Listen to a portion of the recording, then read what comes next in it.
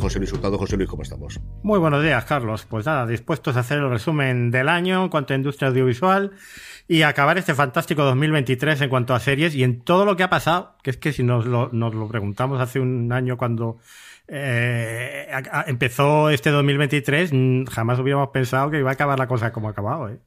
Sí, desde luego. Hombre, no hemos tenido años que no hayan sido moviditos recientemente, pero yo creo que este 2023 se lleva en la palma. Alguna cosa general comentaremos inicialmente y luego, como dice José Luis, analizaremos plataforma, conglomerado, a conglomerado, empresa a empresa, qué es lo más relevante y cómo vemos el futuro de cara al 2024 de los distintos sitios, tanto en Estados Unidos a nivel global, porque al final las compañías americanas nos afectan a todos, y también aquí en España. Antes de eso, José Luis, como siempre, recordamos a la gente www.overdetop.es y las publicaciones tanto en texto como en audio que habéis hecho recientemente pues mira, en texto la newsletter ha descansado en este último mes, en parte porque además laboralmente para mí es el, mes más complicado del año. Eh, pero tranquilo, porque vamos a tener reseña de Asesinato en el Fin del Mundo, reseña de Low Horses y los artículos de fin de año, mejores series, mejor. Bueno, todo se va a juntar en la última semana del año. Ahí vais a tener newsletter todos los días para que no os quejéis y para recuperar el tiempo perdido. O sea, lunes, martes, miércoles, jueves, viernes, sábado, domingo, todos los días newsletter. Eso es un regalo de Navidad como Dios manda, José Luis, y no lo que nos regalan después con el amigo invisible por ahí en las empresas y en los institutos. Pues ¿eh? el trabajo que se acumula, ¿qué es lo que ocurre? en fuera de series.com hemos tenido como siempre muchísimo contenido, mi streaming diario y luego recientemente en este mismo lugar donde estés escuchando en Gran Angular hemos tenido la oportunidad de hacer dos entrevistas, que una cosa teníamos bastante abandonada y hemos vuelto a recuperar. Tuvimos una con Aina Clotet hablando de esto no es Suecia, de la serie que levantó ella sola. Hablaba del proceso durante cinco años de buscar la eh, financiación para poder llevar adelante esta serie que ha recibido premios antes de su estreno y que se puede ver ya completa en RTV Play. Y luego fue un placer absoluto ahora cuando estamos grabando esta misma semana eh, a poder entrevistar a Berto Romero a cuenta del otro lado, esa maravilla a mi modo de ver de serie que ha estrenado en Movistar Plus. Y si no pasa nada, la que semana que viene tenemos otra. Así que a lo poco tonto, lo tonto, Estamos sumando entrevistas, además del contenido habitual, de nuestros análisis que estamos haciendo ahora, que ha terminado ya Loki, de Para toda la humanidad, que sabéis que somos muy fans de todas las series de Apple TV Plus en general, pero la de ciencia ficción en eh, particular. Y pues eso, seguimos haciendo mucho y evidentemente nos falta mucho de cara al 2023, que tendremos como siempre en nuestro tradicional top 10 con Jorge y con Don Carlos y luego las series que más esperamos en el 2024. Todo eso en fuera de series.com, pero José Luis nos centramos en lo nuestro y yo creo que cuatro grandes mmm, and noticias o grupos de noticias o al menos cosas que han ocurrido en este año para que podamos comentar libremente. Yo creo que al final es que hagamos un programa hoy conversando y que vayamos saltando de tema a tema. Por un lado, evidentemente, las huelgas en Hollywood y no solo en Hollywood, que los franceses también están en armas en los últimos tiempos. Seis meses entre la huelga de guionistas y huelga de intérpretes que ha sufrido Hollywood. Luego, la otra parte a nivel financiero es que la subida de tipos de interés están obligando a todas las compañías a buscar como sea dinero, especialmente para pagar las huelgas para pagar toda la deuda que han ido acumulando en los últimos años, cuando el dinero era no gratis, pero sí que al menos estaba a tipo de interés cero y eso siempre era mucho más sencillo de hacerlo. Luego, el tema de los anuncios, precisamente yo creo ligado al anterior, hay que buscar dinero de donde sea y captar a nuevos suscriptores con los anuncios, que al final es como se ha financiado la televisión en toda la vida del señor. Y luego el deporte, esa última gran barrera que le quedaba a la televisión tradicional y a la televisión de pago en España, a la de cable en Estados Unidos, que empieza a resquebrajarse ese monopolio y empieza a llegar también en el mundo del streaming, José Luis. Y yo añadiría dos puntos más que a mí me parecen fundamentales de este año. El primero, el fin de la exclusividad del catálogo de las plataformas de streaming.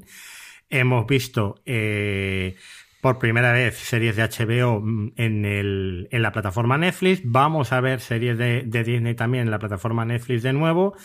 Eh, bueno, es también el fin de las guerras del streaming, donde Netflix ha ganado y donde las demás no es que luchen por ser, como dice la Fórmula 1, el primero de los perdedores, el segundo, no, no, es que luchan por sobrevivir, ¿no? Entonces, en, ese, en esa supervivencia ya eh, es, una línea roja que todos han traspasado y que realmente, bueno, pues, pues es lo que hay. Por segundo lado, pues, eh, o el segundo lugar, efectivamente la huelga de guionistas ha provocado que muchas de estas series de las, eh, del streaming hayan acabado en lineal en las cadenas de toda la vida para rellenar huecos. Y esa tendencia, este melón que se ha abierto, que se han visto las sinergias, va a continuar durante el año que viene y años siguientes, con la vuelta también de las ventanas de distribución clásicas en el cine, que Apple incluso ha aprovechado.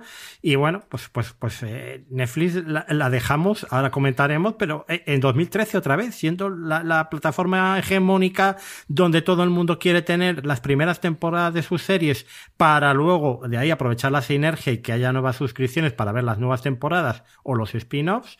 En fin, que, que, es que ha sido también un regreso al pasado con el auge de los canales fast, etcétera.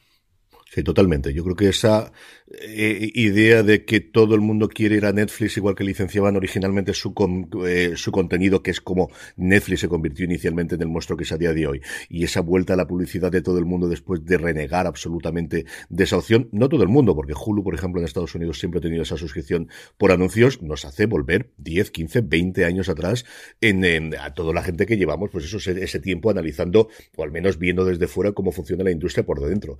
Tú comentabas el tema de la guerra del streaming. Es cierto que han concluido, como decía Gemingo, que acabó ocurren estas cosas, ¿no? De repente, muy poco a poco y de repente todo rápido. En un año en los que estaba todo el mundo dispuesto a invertir dinero y sin problema ninguno, eh, a todo el mundo dar por ganador a Netflix a finales de este año con esa venta de contenido y con esta de, bueno, llegamos hasta donde llegamos, pero la única plataforma que es capaz de crear un éxito a nivel global a día de hoy o que aceptamos que es capaz de hacerla es Netflix.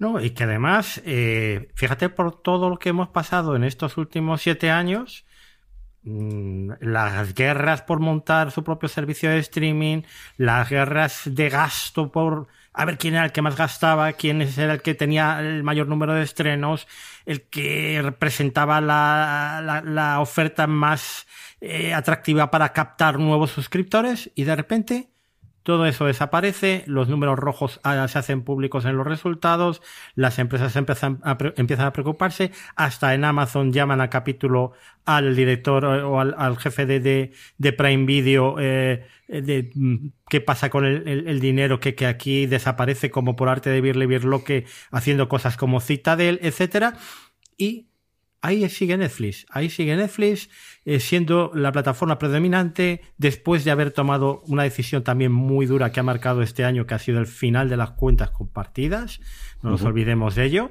de la cual ha salido absolutamente triunfadora porque al final todas la han seguido. Entonces, cuando alguien marca la pauta del mercado, como ocurrió con Apple durante muchos años, y yo creo que en el fondo sigue haciendo en la actualidad, las demás van detrás y van detrás no solo para eso, para todo, todo lo demás también. Yo creo que es, es, es, mm, y falta ver Netflix qué ocurre con el mundo de los videojuegos, que era la última cosa que hay, pero yo creo que esa, esa hacer de la necesidad de virtud de es que no tenemos otro negocio. Es que a nosotros o nos funciona bien el tema del streaming o, o no tenemos nada que refugiarnos. Desde luego no tenemos el iPhone como puede tener Apple o la venta de papel higiénico como puede tener Amazon, pero tampoco tenemos conglomerados históricos y estudios en el que podamos estrenar en cines. Y yo creo que eso a la larga, junto con el hecho, yo creo que fue absolutamente fundamental del cambio de ciclo económico y el hecho de que donde antes los inversores podían aceptar el que se invirtiesen o se perdiesen miles de millones todos los años en las plataformas de streaming y de repente ahora parece que todo el mundo ha descubierto que el emperador iba desnudo y decir, pero que esto qué locura es, no podemos perder dinero a puertas con esta estructura, ha hecho que un 2023, especialmente los últimos tres meses, porque yo creo que antes estábamos con todo el tema de las huelgas que no acababa de, de salir, pero desde que se terminan las huelgas, un replanteamiento total de decir, no, esto es lo que hay, lo único que hay que funciona parece ser Netflix y el resto, todo el mundo a pensar de nuevo qué hacemos en el futuro. Sí, sí. Ahora lo, comentaremos otra vez un poco más en detalle cuando hablemos de Netflix, pero realmente eh, a mí lo que más me sorprende es la inteligencia con la que eh, ellos van planteando hasta cuáles son sus puntos fuertes, cuáles son sus puntos débiles. Ellos saben que las licencias a ellos eh, son subidas, son los que le colocaron donde están. Sin embargo, saben que los derechos deportivos es muy complicado que, los eh, eh, puedan rentabilizar. Pero quieren estar en el deporte. ¿Qué hacen? Despliegan todo un programa de documentales deportivos que están teniendo un gran éxito en la plataforma, que han marcado la pauta también de lo que es casi un nuevo género del entretenimiento y realmente es que eh, saben muy bien, o sea, los videojuegos vienen a apoyar el, el, una forma más, porque ellos, eh, luego hablaremos de paquetizaciones, que eso casi va a ser un tema más de 2024. ¿eh? Aquí está el run run, pero todavía no se ha materializado. Entonces Netflix, claro, dice, yo, yo no me puedo paquetizar con nadie, yo soy la hegemónica, pero para evitar rotación de suscripción necesito los videojuegos. Porque si alguien tiene instalado el GTA en su móvil, y está enganchado al GTA, aunque no haya ninguna serie que le interese, va a seguir pagando la suscripción. Y luego también podríamos hablar de cómo ha afectado la huelga a cada una de las plataformas y, Netflix lo decía el otro día Sarandos. Nosotros mm, hemos seguido teniendo el mismo ritmo de estrenos. Sí, vamos a hablar de Netflix, ya que estamos con ello, José Luis, y comentamos todo lo demás, aunque nos saltemos y luego ya nos metemos con el resto de las plataformas. Yo creo que es el año de, la vuelta de la Netflix que conocíamos antes de esa gran corrección posterior al subidón de suscripciones que tuvieron por la pandemia. después de un año aciago y un año en el que tuvieron un cambio absoluto, no solo a nivel directivo, recordemos que es el momento en que sale Hastings de la dirección eh, ejecutiva de la compañía, es un año en el que por primera vez Wall Street les dice por aquí no y cambiar, y fue un cambio cambio que se ha producido en nueve meses. O sea, tanto el tema de las cuentas compartidas como el tema de la publicidad, y le falta la parte del deporte que tú ya has ido comentando, ha sido dicho y hecho en cuestión de tres, seis meses cada una de ellas. La publicidad poco a poco la van haciendo, porque es cierto que tienen muy pocos suscriptores de publicidad, porque tenían muchos suscriptores sin publicidad. Hmm. Y yo creo que el deporte, si le falta algo para que realmente se metan ahí, más allá del tema filosófico de realmente estamos alquilando derechos y no crea fan, es que el deporte es algo que funciona muy bien cuando puedes poner anuncios. Y es cierto que el número de suscriptores a los que a día de hoy llegan anuncios son muy pocos, salvo que tiren por la calle de en medio y digan, mirad, tenéis la suscripción sí sin anuncios, excepto el deporte, y el deporte evidentemente tiene anuncios, que es algo que, por ejemplo, ocurre en Prime Video en Estados Unidos, donde todavía no han llegado los anuncios a su plataforma, pero cuando tú ves un partido de fútbol americano por la noche, tienes anuncios sin problemas, o la propia Netflix ha empezado a experimentar ya con algunos de sus realities y también con esa Netflix Cup, que era una chorrada realmente más que un partido de, golf, pero al final dejabas la posibilidad de tener eh, patrocinios globales y tener marcas que apuesten por determinados programas que yo creo que la gente está dispuesto a aceptarlos de una forma bastante más sencilla que el que te... Yo creo que el mayor cabreo de los anuncios es que te corte una película del minuto 24 y además cuando no hay un fundido en negro. Y fíjate que vos está especulando, bueno, eh, dos cosas. La primera, ha pasado un año. Es que hace un año tú y yo mm, estábamos pensando quién iba a comprar Netflix. ¿eh? O sea, fíjate cómo en 12 meses cambia, eh, da la vuelta a la tortilla. Y luego, segundo, em, claro, el tema de los derechos deportivos, y yo creo que tú y yo hemos hablado muchísimo de esto mm, aquí fuera de micrófono, es una guerra que, en 2024 yo creo que va a estar ya en su punto álgido, porque yo no tengo dudas de que SPN va a tener una expansión internacional y que es parte de la estrategia de Disney, luego hablaremos de Disney. Em, pero claro, ¿qué derechos compras? ¿Cómo lo rentabilizas? Claro que a Netflix le interesa tener deporte. Y, luego otra cosa que, me parece súper interesante. Venimos especulando con que, hombre, Netflix ahora eh, los anuncios que mete en los cortes estos entre su contenido de series o de cine son pocos. Eh, dentro de un futuro, pues eh, igual son más y se hace más pesado soportar esos anuncios. Pero por otro lado estamos leyendo que Netflix se está adelantando un poco a eso, sabe que tampoco puede llenar de anuncios su programación y que está buscando otras fórmulas de patrocinio cultural y lo que tú comentas del deporte para, para que esos anuncios poderlos incrementar, pero no cargarlos en la interrupción del contenido audiovisual. Que yo creo que es, una estrategia eh, completamente lógica y, y, muy bien vista por, por la plataforma, ¿no? Entonces sí, claro que le interesan los deportes, pero realmente eh, la inversión a la hora de soltar la panoja, te metes en la lucha por los derechos de la Premier de soccer, te metes en la lucha de la NBA, eh, intentas arrebatar los Juegos Olímpicos a Warner cuando eh, haya renovación de derechos de, de los Juegos Olímpicos. Yo eso es lo que no acabo de ver claro todavía en el caso de Netflix. Yo creo que el gran problema ahí es si están dispuestos a aceptar derechos para determinados países solos o quieren unos derechos globales, como por ejemplo consiguió Apple con la MLS. Y no hay tantos deportes con los que puedas negociar a día de hoy unos derechos globales. Se ha rumoreado mucho la Fórmula 1 podrías tener tenis, yo creo que más torneos individuales de tenis que puedas tener, y luego, y más aún con la noticia reciente de esta misma semana de John Ram de paso al Lip Tour, el que vio clarísimo es el golf, por varias razones, porque creo que sí que tiene una demanda global, porque aunque tengas los derechos lineales a día de hoy vendidos puede funcionar, y luego porque además ahí puedes llegar a un acuerdo concreto con los cuatro medios que lo organizan competiciones independientes. Es algo parecido al tenis. O sea, existe un gobierno a nivel ideal, ahora hay dos tours eh, competiendo que teóricamente se tienen que fusionar antes del 31 de diciembre, pero veremos cómo acaba la cosa.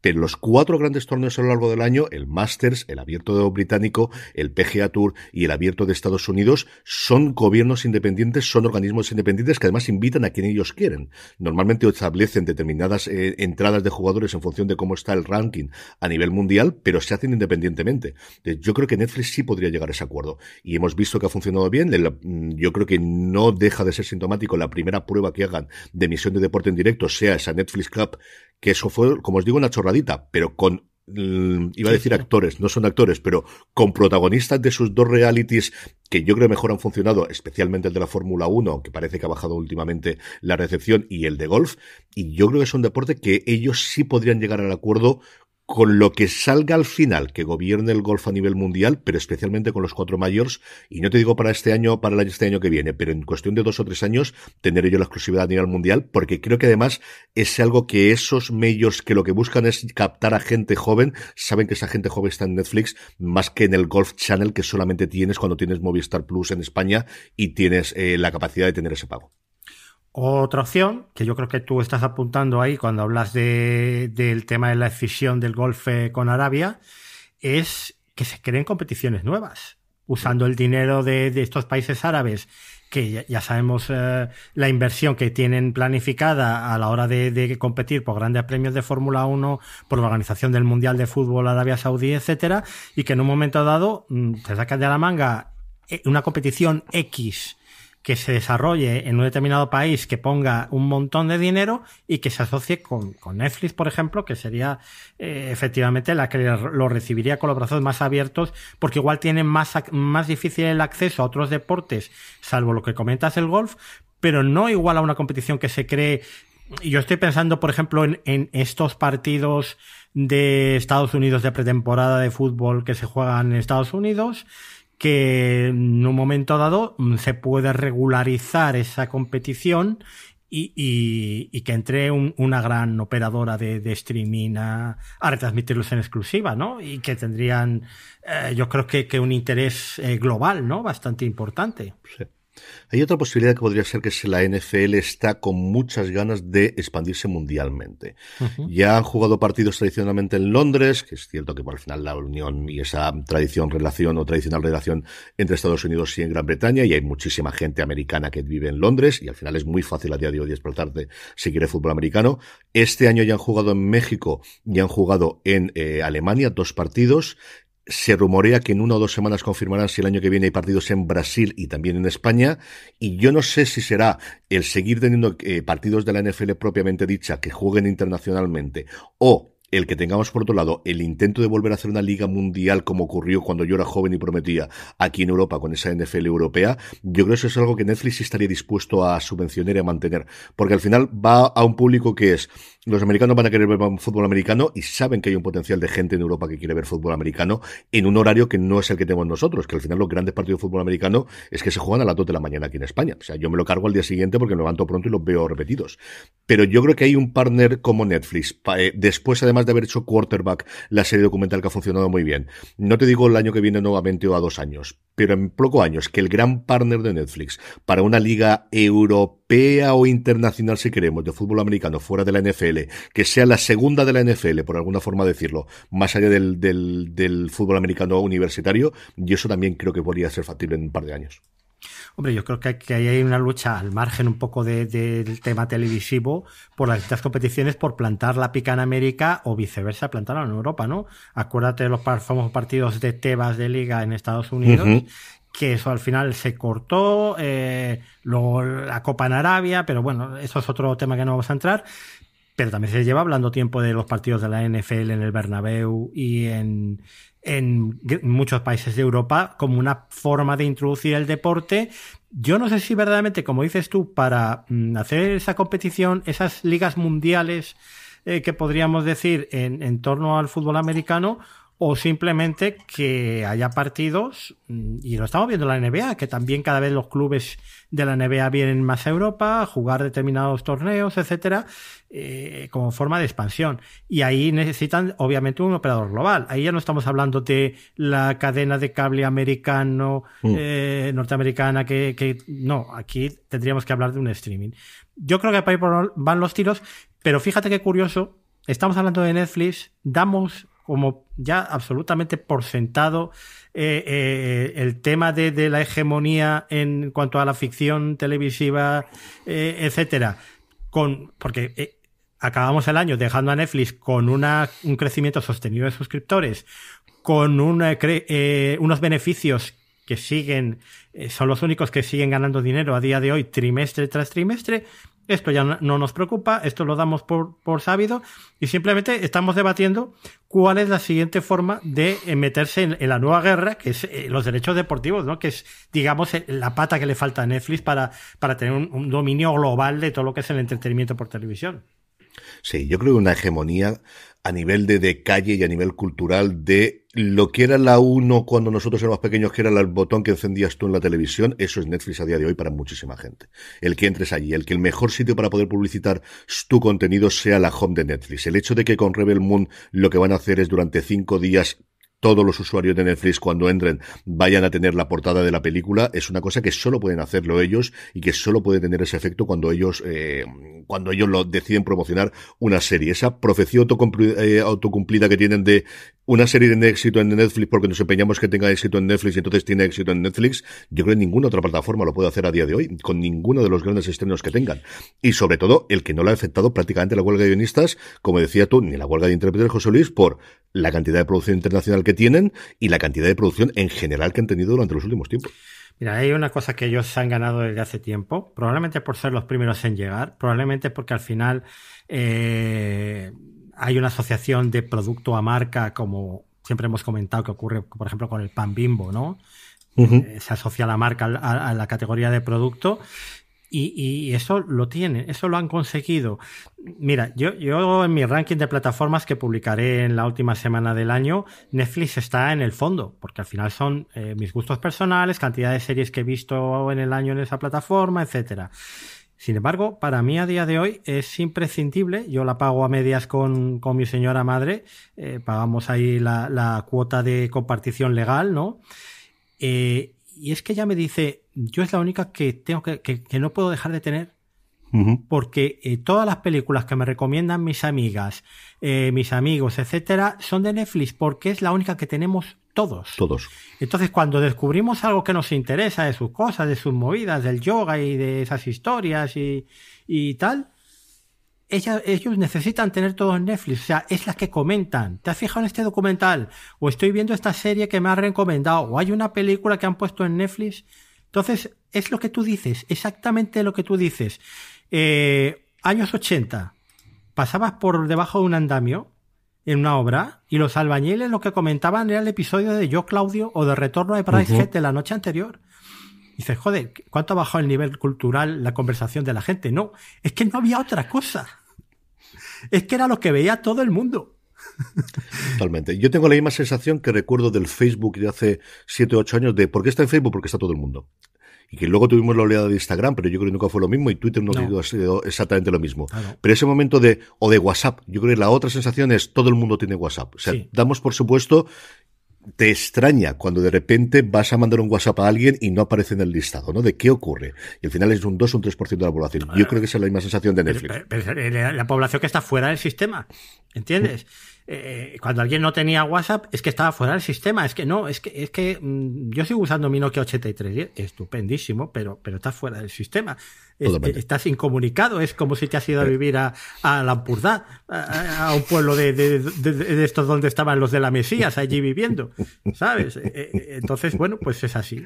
Entonces, eso lo ha conseguido Netflix y eso es muy difícil que lo pierda ya a estas alturas. Por eso es cuando digo que es que los demás ya, bueno, pues eso, a luchar por el segundo puesto el que pueda, ¿no? Simplemente eh, eh, casi es la lucha por la supervivencia, por hacer viable el, el proyecto propio, ¿no? Mm.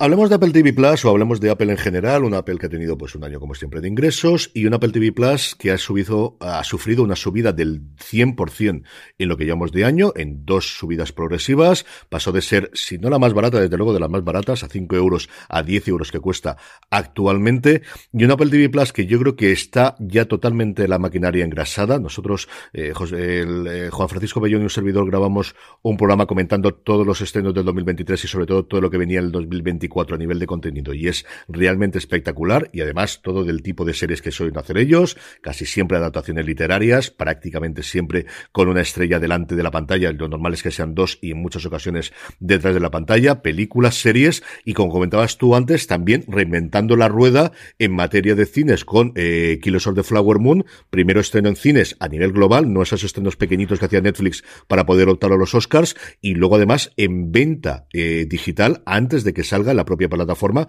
que era una cosa que yo creo que nadie pensábamos que iba a ocurrir. Oye, y, aquí yo, si quieres, nos jugamos algo, pero va a ganar su segundo Oscar a la mejor película con la peli de Scorsese.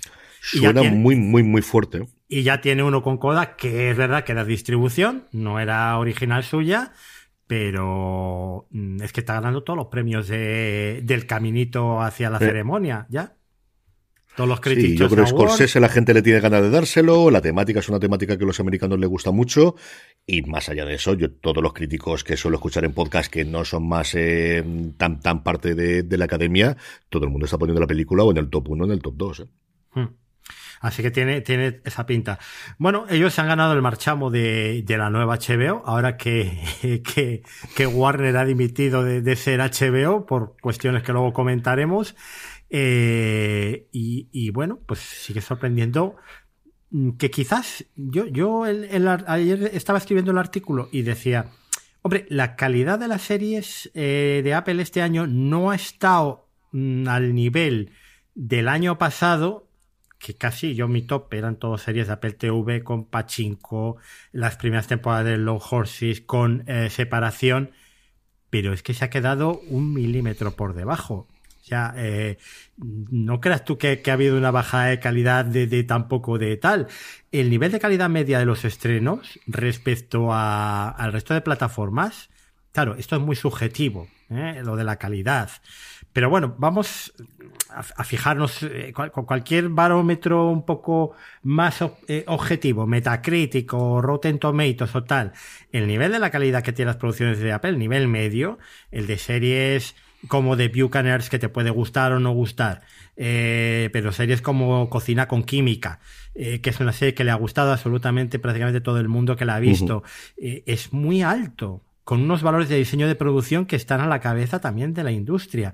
Este, mm, ¿cuánto dinero hay? Que dice siempre Juan, que, que, se emociona todo de dinero, dinero. Sí, es que se ve, o sea, esto se nota, coño. Esto, es como cuando tú vas a, casa de alguien que enseguida eh, ves, respiras eh, cómo está la situación económica de, de, de, la casa, ¿no? Y en Apple, cuando te sientas delante del sofá y le das al mando y abres la aplicación de Apple TV, eh, es que es pues, como cuando daba yo mis paseos por el Cabo Huertas en, en Alicante.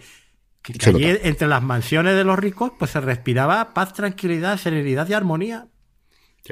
Yo tengo hecho el top 20, como yo creo que los oyentes conocen, que estoy repasando todos los días de diciembre en, en streaming y creo que la plataforma que más tengo eh, contenido y podría haber añadido varias más que he dejado fuera es de Apple TV Plus. Tú comentabas que tenía peor calidad, pero claro, conforme estabas diciendo tú, yo estaba pensando, es que a mí Slow Horse es la que más me ha gustado, la que se acaba de estrenar ahora. Es que Fundación creo que la segunda temporada es mucho mejor que la primera. es que Silo es una de mis series favoritas de este año y estará muy alto arriba es que además tienes las gotas de Dios, que hablando de sorpresas, entre cocina con clínica y gotas de Dios, yo creo que han sido dos sorpresas este año. Sí, tiene y lo que viene en 2024, ¿eh?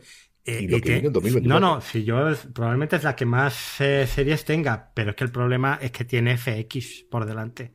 Es que el año, el año que se ha marcado FX no es ni medio normal.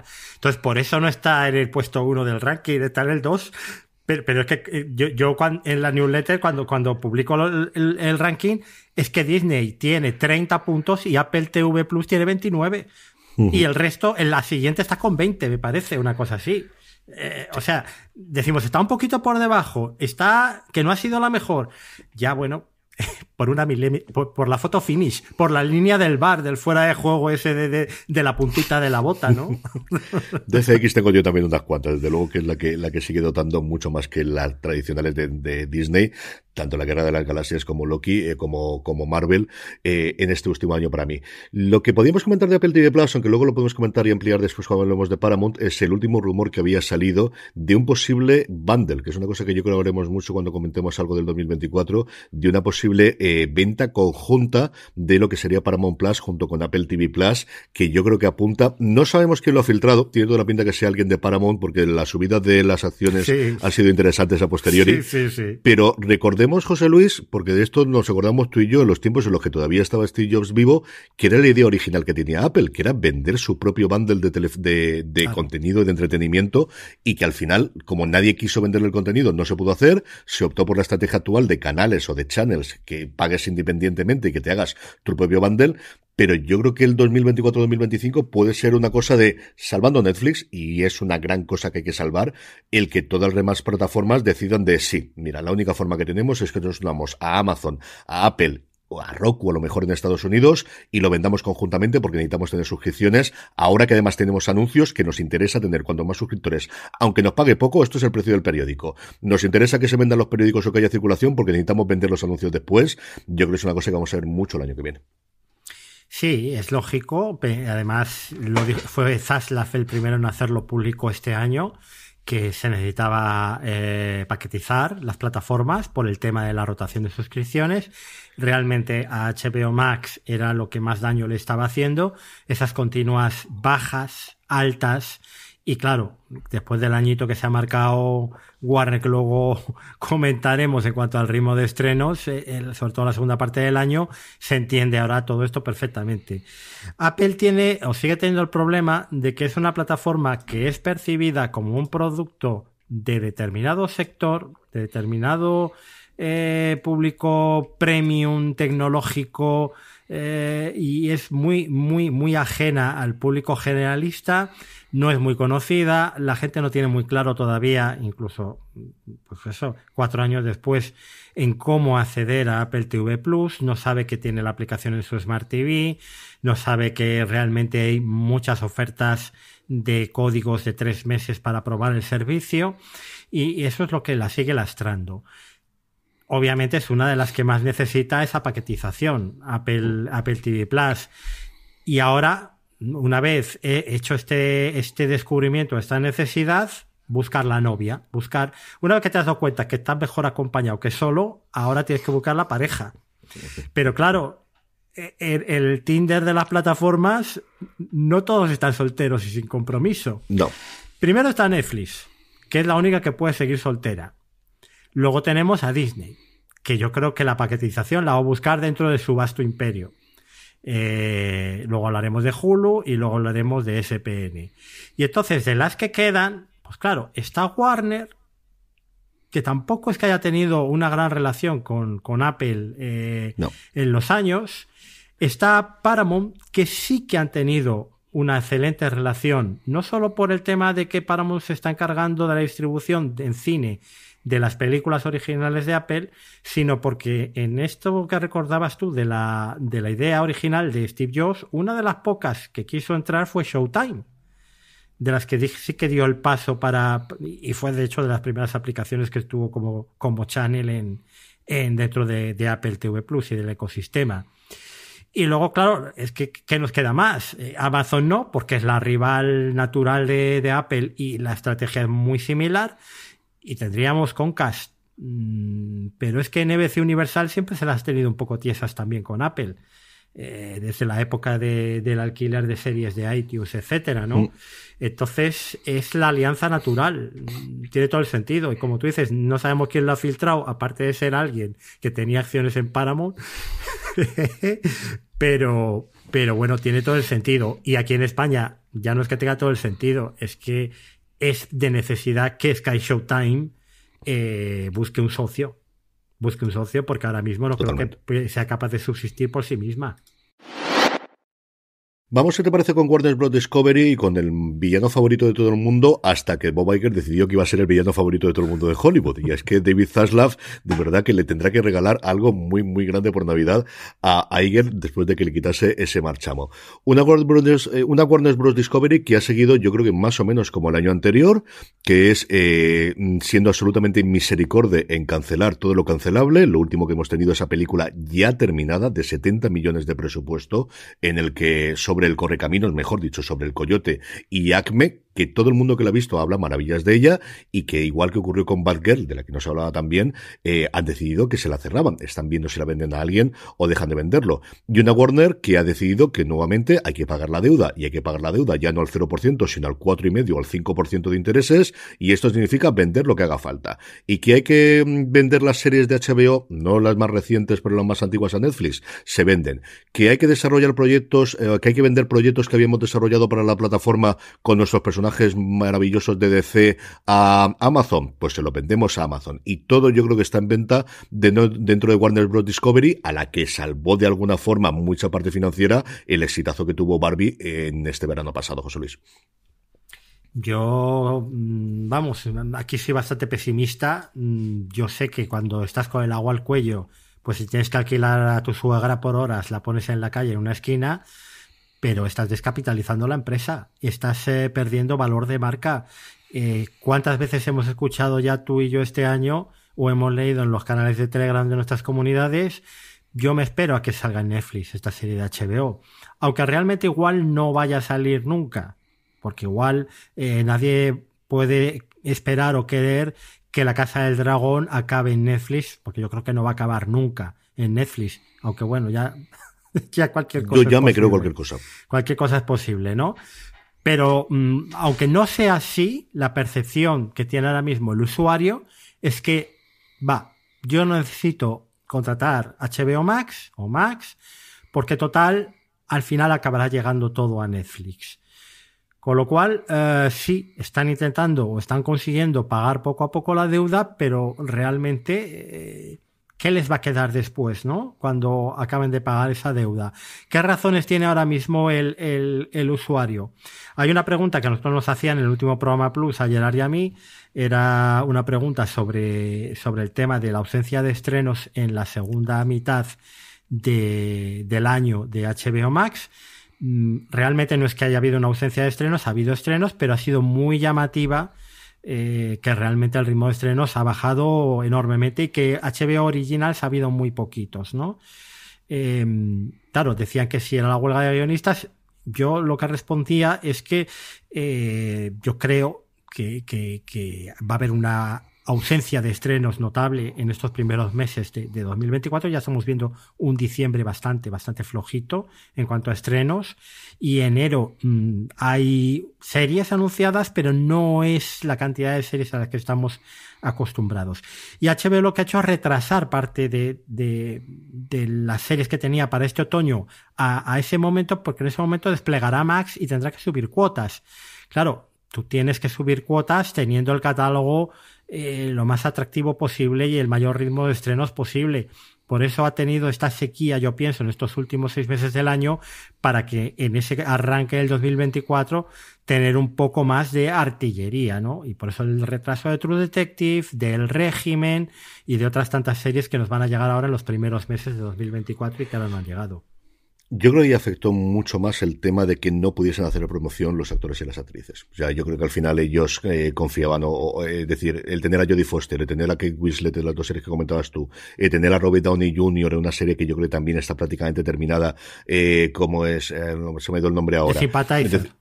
El de Sympathizer. Es decir, tienes todos esos nombres y vieron el efecto que podía tener especialmente en películas y no poder promocionarlos y yo creo que le pegaron la patada para adelante porque diciembre ha sido un erial. O sea, desde mediados de noviembre a diciembre yo vi las notas de prensa que teníamos en HBO España con todos los estrenos que siempre tienes, no te digo todas las semanas, pero cada 15 días porque todos sabemos que la serie de HBO se estrena de capítulo por semana, pero las has tenido, las has tenido al principio de, de año y algunas yo creo que muy defendibles y muy buenas y el fenómeno de The Last of Us yo creo que está ahí, evidentemente es Succession con su última temporada, ¿no?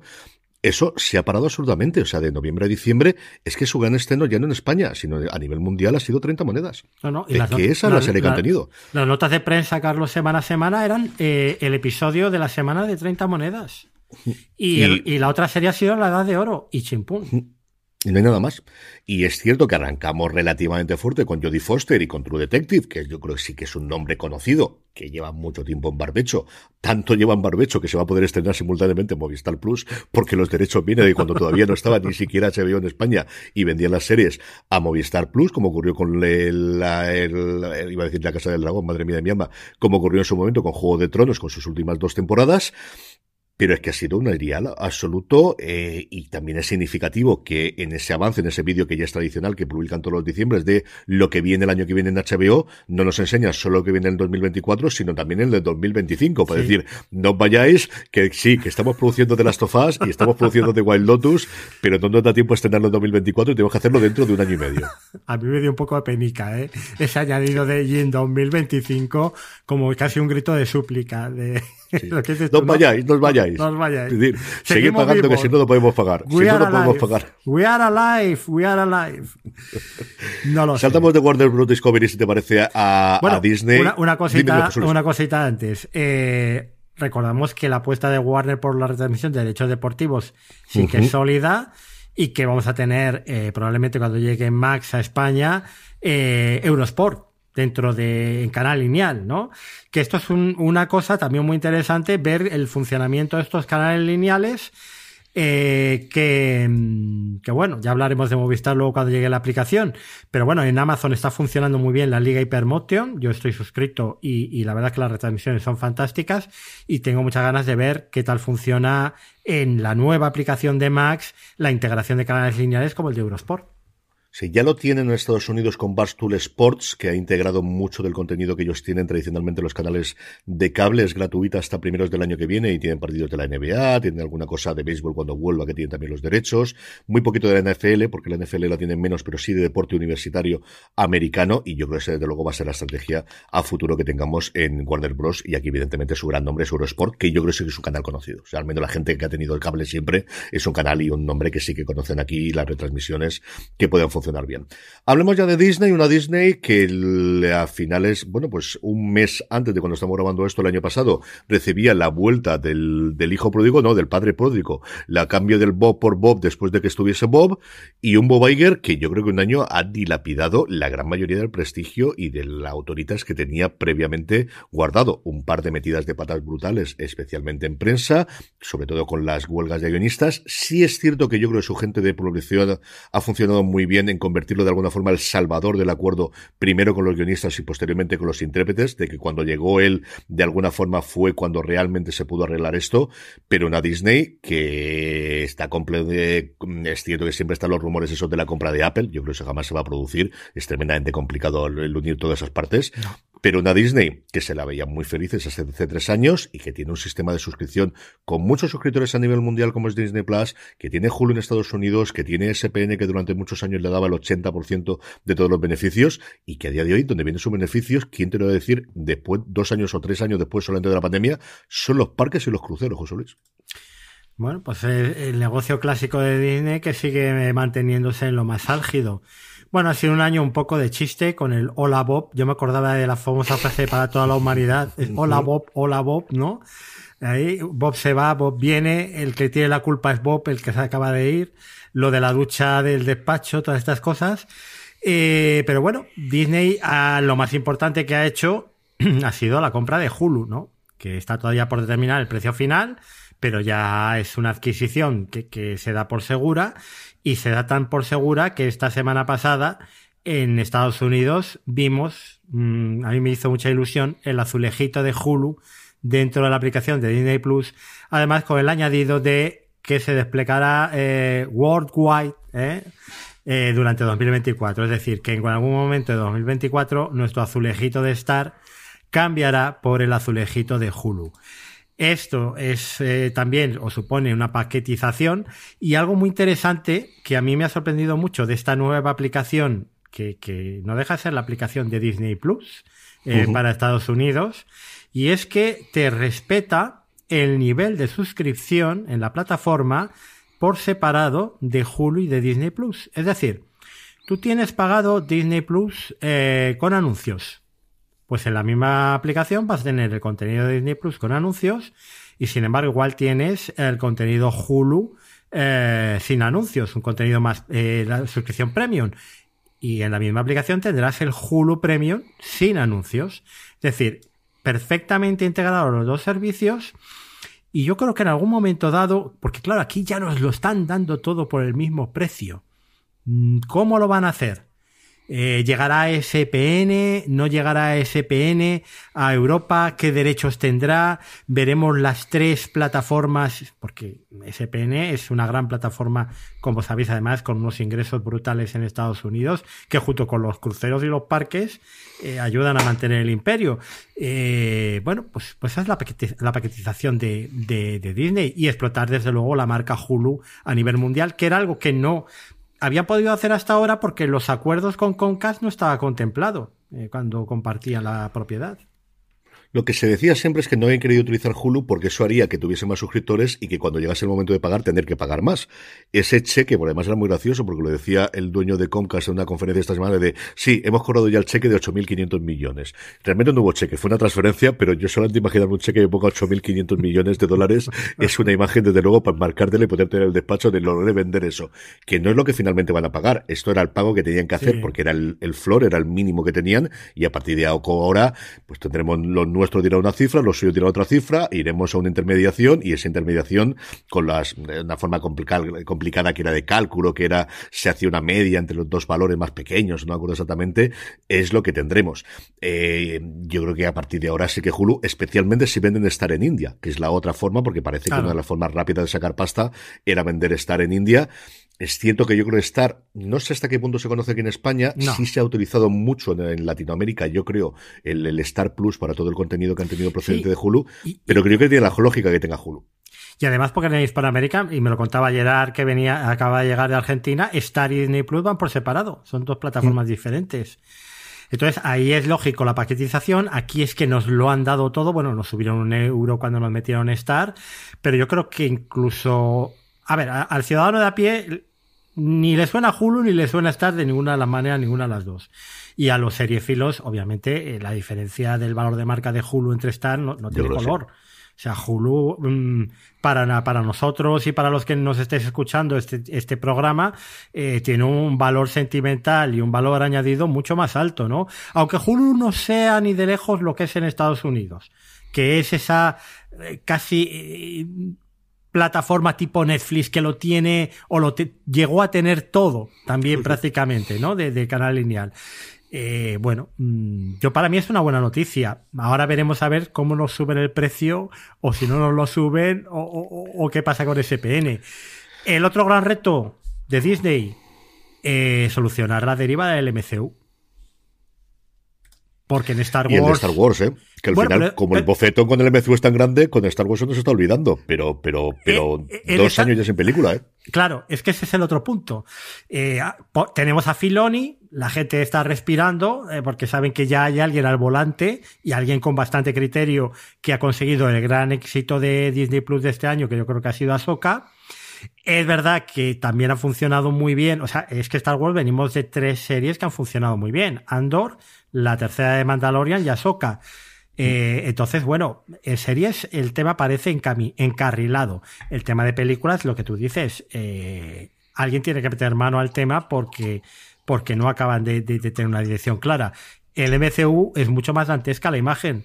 Eh, y con Jonathan Myers, que se supone que es la gran estrella de estas, del presente y futuro próximo de Marvel, en un juicio. Con muy mala pinta, por cierto, para él. Veremos, yo estoy leyendo algunas de las cosas y es todo tan raro, tan, tan extraño. Es cierto que el juicio está ahora, yo creo que queda una semana aproximadamente y estos suelen ser muy rápidos en hacer la sentencia. Yo creo que antes de Navidades sabemos qué ocurre con Jonathan Mayors, se acaba en la cárcel, no acaba en la cárcel y, y aunque no acabe en la cárcel, con todo lo que salga en ese juicio, cuánto de marcado está para poder ser, como dices tú, la, el gran villano, que ya no es el villano, sino la gran estrella, a falta de todas las estrellas que se han retirado en los últimos tiempos del MCU y cómo le va la, la fiesta en el mundo de de las series dentro de Disney Plus, porque al final se han producido series por encima de las posibilidades. Tenemos el estreno de Echo y de muy poquitas cosas más de Marvel en el próximo, en el próximo año. Tenemos a la What If a finales de año. Echo ya se han sacado de la manga el que no va a ser absolutamente necesario el que siga todas las señales del MCU y que tengamos series independientes, que yo creo que a estas alturas del partido no es una mala noticia ni una mala idea, que hagan eso con, e con Echo, lo hagan con Daredevil y que tengamos quizás no una serie todas las semanas o todo lo, cada dos meses como teníamos antes, pero sí tres o cuatro a lo largo del año y que no sean necesariamente enclavadas dentro del MCU, sino que igual que ocurre en los cómics, de repente tienes un creador con un personaje que tú tienes dentro de la de tu listado y lo puedes hacer más aún cuando lleguen los mutantes, que ahí tienes una cantidad de personajes alucinantes para poder hacer cosas y a ver qué ocurre con ellos. Pero desde luego es un año complicadísimo, cuando el año pasado en enero se lo prometían muy felices de ha vuelto Bob Iger, todo está solucionado y además funcionamos bien. Y en la parte de SPN, ahí está si van a decidir dar el salto a que se pueda suscribir a la suscripción como tal por streaming. A día de hoy lo que está disponible es una cosa llamada SPN Plus, que tiene mucho contenido, pero no el principal. Por ejemplo, el mejor partido que hacen de fútbol americano universitario, ese solamente te lo hacen por SPN. Y los rumores de los precios oscilaban de 25 a 35 dólares en Estados Unidos. Y es que el deporte, cuando solo pagas deporte, José Luis, es muy caro. Sí, eso está claro. Eso está claro. Eh, bueno, mm, yo en cuanto a Marvel, para cerrar, pues es que Agatha Coven of Chaos tampoco es un proyecto muy atractivo. Y Daredevil, Born Again, que yo creo que es la gran serie de Marvel que está esperando todo el mundo, pues vamos a ver qué pasa, ¿no? Después de haber hecho al Showrunner. Eh, ahí, ahí es un problema que tiene porque realmente es que Marvel ha sido eh, una inyección de dinero constante para Disney en los últimos años y de repente eh, es todo lo contrario, es un agujero negro. Entonces, bueno, ese es el gran reto yo creo que tiene Disney por delante, conseguir una paquetización en base a sus tres servicios, incluido el, del deporte, y que el precio no se vaya eh, a más, o, ver una versión, que esta es otra opción, SPN Plus a día de hoy es una versión un poco capada SPN por cable. Mm. Igual en Europa puede llegar esa versión de SPN Plus con unos poquitos derechos eh, plantearse igual entrar a, comprar un partido de la jornada eh, a Movistar, esto que hace Amazon en la, en la Premier League, que ahora ha dejado de hacerlo, y, no sé, entrar un poco con la patita para tener valor añadido, pero tampoco desmadrar el precio de la suscripción, porque yo creo que ahora mismo el gran valor de, Disney es haberse quedado por debajo en el rango de precios de Netflix, con lo cual es la, la segunda opción muy clara para muchas familias, ¿no? Totalmente, totalmente. Hablemos de Paramount Global, hablemos de si esto vamos a poder seguir hablando el año que viene de Paramount Global, que es lo que todo el mundo está comentando a día de hoy, José Luis. Bueno, pues, pues eh, hay que ver eh, si se vende o no se vende Paramount, ¿no? Y, y claro, eh, hablamos de un bundle con, con Apple TV Plus, pero ¿en qué puede quedar esto si si Paramount al final eh, es comprada por otra empresa o es absorbida. Recordemos que sigue siendo, eh, junto con Starz, ¿eh? pero lo que pasa es que Starz, yo creo que tenemos todos más o menos claro que va a acabar dentro de, Amazon más mm. tarde o temprano. a Starz barra Lionsgate división de streaming, ¿no? Porque los estudios van por otra parte. Pero Paramount es la otra candidata se habló en algún momento de Comcast. Yo creo que Comcast mm, ha quedado fuera de, esa ecuación de, la venta y precisamente una de las, de las candidatas a compra de, de Paramount era la propia Comcast. Yo no sé al final eh, por dónde estarán los últimos rumores porque ahí está un poco alejado de esta noticia. Los últimos rumores es que lo podría comprar David Ellis, que es el hijo del fundador de Oracle, que ha hecho mucha producción, que ya trabaja con Paramount actualmente. De hecho, es el propietario del 50% de la franquicia de Misión Imposible y también en su momento de Top Gun. Su padre tiene unos 1.500 millones de dólares actualmente y podría captar dinero externo. Paramount tiene una cosa financiera curiosísima, que es la capitalización a día de hoy bursátil son 10.000 millones de dólares y tiene deudas por 15.000. Eso para empezar. Siguiente, la estructura de gobierno es una cosa muy extraña, porque eh, existe Paramount, pero Paramount a su vez está participada por eh, la heredera de Reston, Sari Reston, que solo tiene el 10% de las acciones, pero representan el 90% del voto. Y entonces lo que parecería que podría ser es que en vez de comprar Paramount, que han entrado muchos inversores, empezando por el, el eh, ay señor, se me ha ido ahora, por eh, eh, Berkshire Hathaway, la empresa, recientemente murió además Charlie Munger, del, del oráculo de, de, Omaha, que ha comprado el 15% de Paramount Global, se podía comprar directamente la empresa matriz que se llama Entertainment, no me acuerdo ahora mismo del nombre, que es la que fundó el abuelo de Sari Reston con unos cuantos cines en Boston inicialmente, y comprar esa y hacerse dueño de Paramount. Paramount ha hecho en los últimos tiempos los pasos que habitualmente se hacen cuando buscas una venta, que es empezar a liquidar eh, negocios que tienes en paralelo para captar dinero. Simon Schuster, que es la editorial que tenía en Estados Unidos y también a nivel mundial, se paralizó inicialmente la venta, luego se vendió por 3.000 millones. Hubo una oferta en firme para comprar Showtime que se que por 3.000 millones también que no hicieron y que yo creo que todo el mundo se ha arrepentido de posteriormente de hacerlo.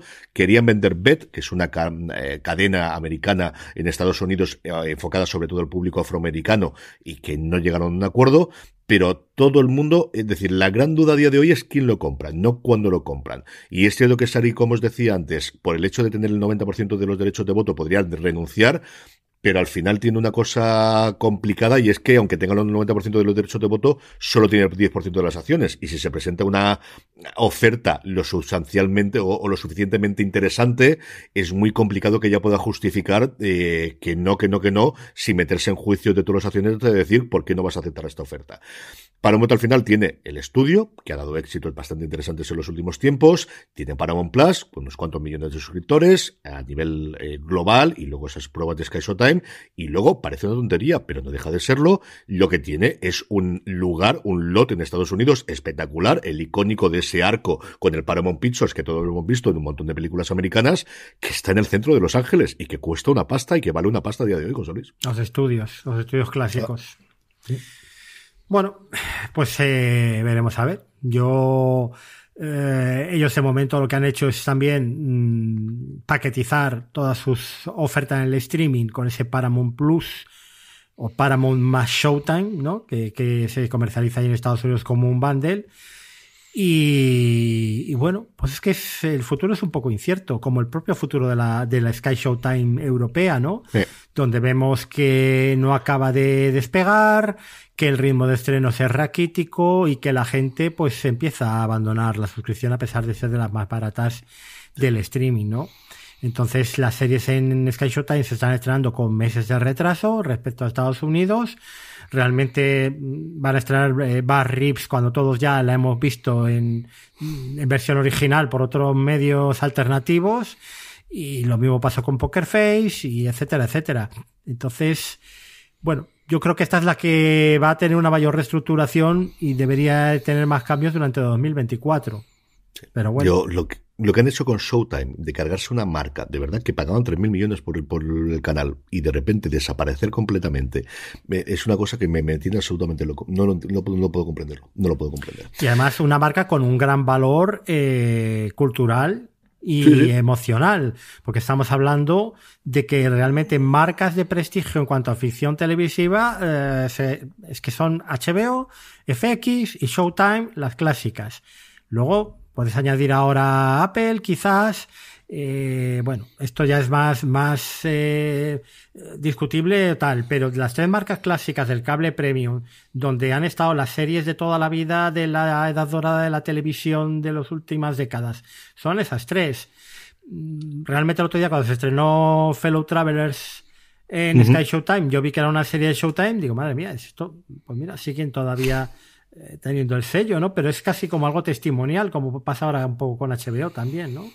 Sí, sí, las que les quedaban todavía en la, en la fila y las siguen haciendo. Y a mí me sorprendió ver el logo todavía de Showtime. Vamos con Comcast, es decir, con NBC Universal, una NBC Universal que, como os digo, ha cobrado 8.500 millones, que no está mal como aguinaldo de final de año, indudablemente. Y luego lo que nos queda por ver con ella es qué recorrido tiene Peacock en Estados Unidos, qué recorrido tiene Sky Showtime en nuestro país, y luego cómo le va a funcionar de bien el año que viene, el 2024, en el que tiene los derechos de los Juegos Olímpicos, que siempre le funciona tremendamente bien, especialmente en Estados Unidos.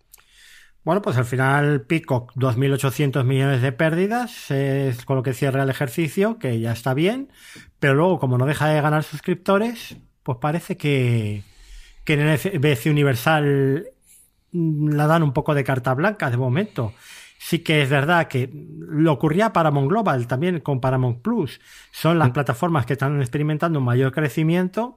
Les ha beneficiado mucho el fenómeno Yellowstone, las ha beneficiado mucho eh, el tema de, la emisión en canales lineales de muchas de las series que ellos tenían en el streaming.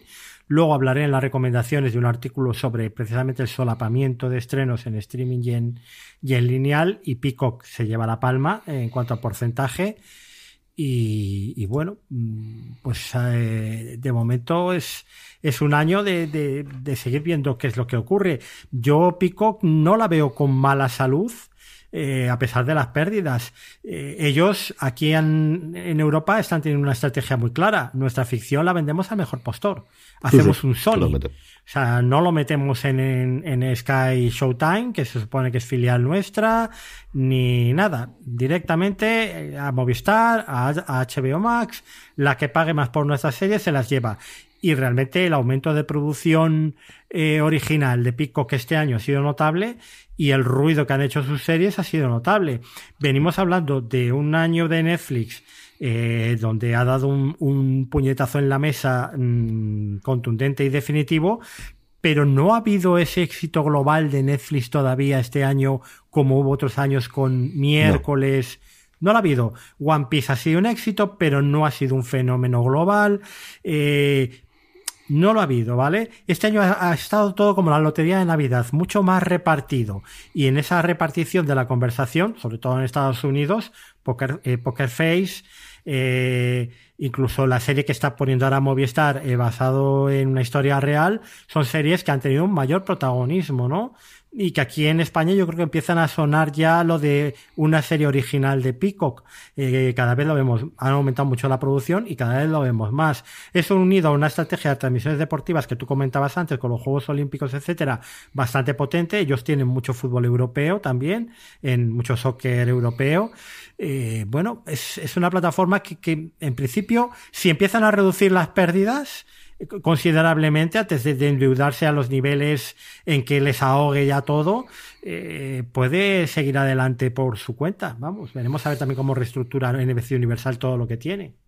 Sí, ellos tienen la Premier a día de hoy. O sea, CBS tiene eh, la Champions, eh, Hulu tiene, Disney con Hulu tiene la Liga Europea y la alemana, si no recuerdo mal, pero la Premier, que es la más vista, yo creo incluso por encima de la Champions en los Estados Unidos, la tiene a día de hoy todavía Pico, que no me acuerdo por cuántos años lo firmaron en su momento. Hablemos del conglomerado de Amazon, porque ya no podemos hablar solamente de Prime Video, hay que hablar de Prime Video, habría que hablar de Freebie, a ver qué ocurre con eso en el futuro, ahora que Prime Video también va a tener anuncios, hay que hablar de MGM Plus, que también lo tienen ahí dentro, de toda la producción y yo creo que la noticia de lo más importante es esto de que nos van a colar anuncios a partir del 1 de enero, salvo que paguemos 3 dólares, que aquí es hay que pagar para que no te pongan anuncios. Bueno, pues esta ha sido un poco controvertida, ¿no? La, la, decisión de Amazon de anuncios sí o sí, y si te les quieres quitar, pagas aparte como cuando pagas un canal, que es obviamente establecer una, una barrera de dificultad para quitarte los anuncios. ¿Qué es lo que pretende con esto? Pues ver realmente cuánta gente fiel a su plataforma, más allá de que se la regalen con los envíos, es capaz de. cuánta gente fidelizada tienen, ¿no? Que, se, quita por un precio mínimo de 3 euros al mes los anuncios. Yo les tengo que dar la mala noticia que yo no soy uno de ellos. O sea, yo Amazon, para las cuatro series que veo al año, me la voy a comer con anuncios. Pero bueno, es que Amazon realmente es mucho más grande de todo lo que se ve. Aquí en España han tenido un año mm, verdaderamente curioso con la recuperación de formatos de televisión clásica, como el caso de El Castillo de Takeshi o Operación Triunfo, que si bien no está siendo el fenómeno que fueron ediciones en abierto, sí que está levantando el suficiente ruido y yo creo que está generando suficientes suscripciones a la plataforma como para que haya merecido la pena eh, eh, resucitar el formato. Eso por una parte. Luego, por otra parte, eh, tenemos a nivel global el éxito de Freebie, incontestable, con cada vez más producciones propias específicas para, para este canal Fast. Luego tenemos la llamada de atención de Andy Jassy a Jens Alke de qué me estás haciendo con el dinero, la juerga torera que se pegaron con Citadel, eh, haciendo, despidiendo al showrunner, volviéndola a filmar prácticamente entera, y, claro, los, los 7000, o, bueno, no sé cuántos miles de millones que, costó aquello, y, y, luego que, que, han empezado o han entrado a saco en la moda de la cancelación con temporada con temporada renovada, ¿no? Como ocurrió con The mm. Peripheral o, con ellas dan el golpe. Entonces, eh, bueno, Amazon tiene una estrategia muy impecable en cuanto a la explotación del alquiler de películas, de los canales adicionales, del tener eh, una programación muy específica para, para cada país eh, en concreto, como esto que comentábamos antes, como es incluir la Liga Hypermotion pero sigue sin tener seña de identidad su ficción. O sea, al final sí parece que está enfocado un poco en, en el público masculino de mediana edad, con series como Richard, como eh, The Boys, eh, Jack Ryan, etcétera. Eh, tiene productos también de calidad como los anillos de poder, pero no tiene una imagen tan clara de marca como por ejemplo ha conseguido Apple en tan solo cuatro años, ¿no? Entonces, sigue siendo un poco un cajón desastre sin una dirección clara. Yo creo que tiene dos grandes éxitos que son Richard y especialmente eh, The Boys. The Boys ya estamos viendo el primer spin-off se ha llegado este año, ya tenemos un spin-off en México. No sé cuánto se podrá alargar el, chicle y cuánto demanda habrá por ese tipo de contenido, pero desde luego que han creado su propia franquicia a partir de ahí y el éxito de Richard yo creo que es absolutamente incontestable y tiene toda la pinta de que todos los años al menos una temporada vamos a tener del bueno de Jack Richard en los próximos tiempos. La otra cosa de Amazon que comentabas tú es en España el despliegue suyo de toda la producción que llevaban tiempo gestando. Es cierto que en España hubo varios cambios de jefes de contenido y de estrategia, igual que en Estados Unidos, pero la presentación que hicieron a primeros de, otoño fue espectacular y es cierto que le habían chafado la gran noticia que era la vuelta de Operación Triunfo. Creo que en Operación Triunfo han conseguido algo que creo que también las plataformas de streaming están intentando. Lo hizo aquí Netflix recientemente con Sálvese a quien pueda. Lo va a hacer Netflix en Estados Unidos con Rebel Moon, que es el día y la hora de estreno vuelve a ser importante. El que tengamos el estreno a las 10 de la noche Operación Triunfo, y es cierto que el deporte, por supuestísimo, pero los realities también son muy dados para eso, el que se haga. El que se vaya a adelantar el estreno de Netflix unas horas para que lo puedan ver por la tarde-noche en Estados Unidos en la costa oeste y la costa este, era una cosa que no cabía, porque antes la idea era, bueno, lo ves cuando quieras y como vieras, ya, pero es que la gente quiere verlo en ese momento porque quiere hablar de ello en redes sociales o ser el primero que saca un meme en TikTok o lo que corresponda. Y eso aquí en España está ocurriendo con Amazon. Yo creo que la producción suya, como os digo, ha sido muy interesante en nuestro país en este último tercio. Los grandes estrenos, desde luego, españoles llegan el año que viene, empezando por Reina Roja y luego por eh, eh, la de los zombies que se me ha olvidado siempre. Y está fatal porque le escribe un amigacho mío que es Ángel Agudo, pero se me olvida siempre Generación Z, creo recordar que se llama la película. Y, y, no tiene pinta de que vaya a parar, no tiene pinta de que luego vaya a parar. A ver cómo funciona el tema de los anuncios aquí, que es algo que ya hacían, por ejemplo, en su momento con el Kindle. Cuando tú compras un Kindle, te viene por defecto con anuncios y si no quieres quitar los anuncios, pagas una tarifa puntual un mes y te los quitas y ya está. Y es algo que siempre ha hecho Amazon. Al final, mm, yo creo que, como dices tú, los días de el gasto a expuertas sin ningún retorno se han acabado, eso no quiere decir que Amazon, igual que Apple, pueda gastarse el dinero cuando quiera en una serie o en producir 20 series aquí en España, como lo va a hacer en los próximos tiempos. Y luego quería menos que comentásemos un poquito de la gran tapa de la que nunca hablamos del streaming, que es YouTube, por varias razones, ya no por los vídeos tradicionales que vemos en YouTube, sino por esa apuesta en Estados Unidos, por un lado, del deporte y de hacerse con ese Sunday Ticket, que son todos los partidos de la, jornada, excepto el que se emite el jueves, el que se emite el lunes, eh, en abierto en Estados Unidos y luego por esa apertura también de los channels que se suman a la posibilidad que había antes de la compra y la venta de películas, que yo creo que es menos conocido en España, pero que existe también allí.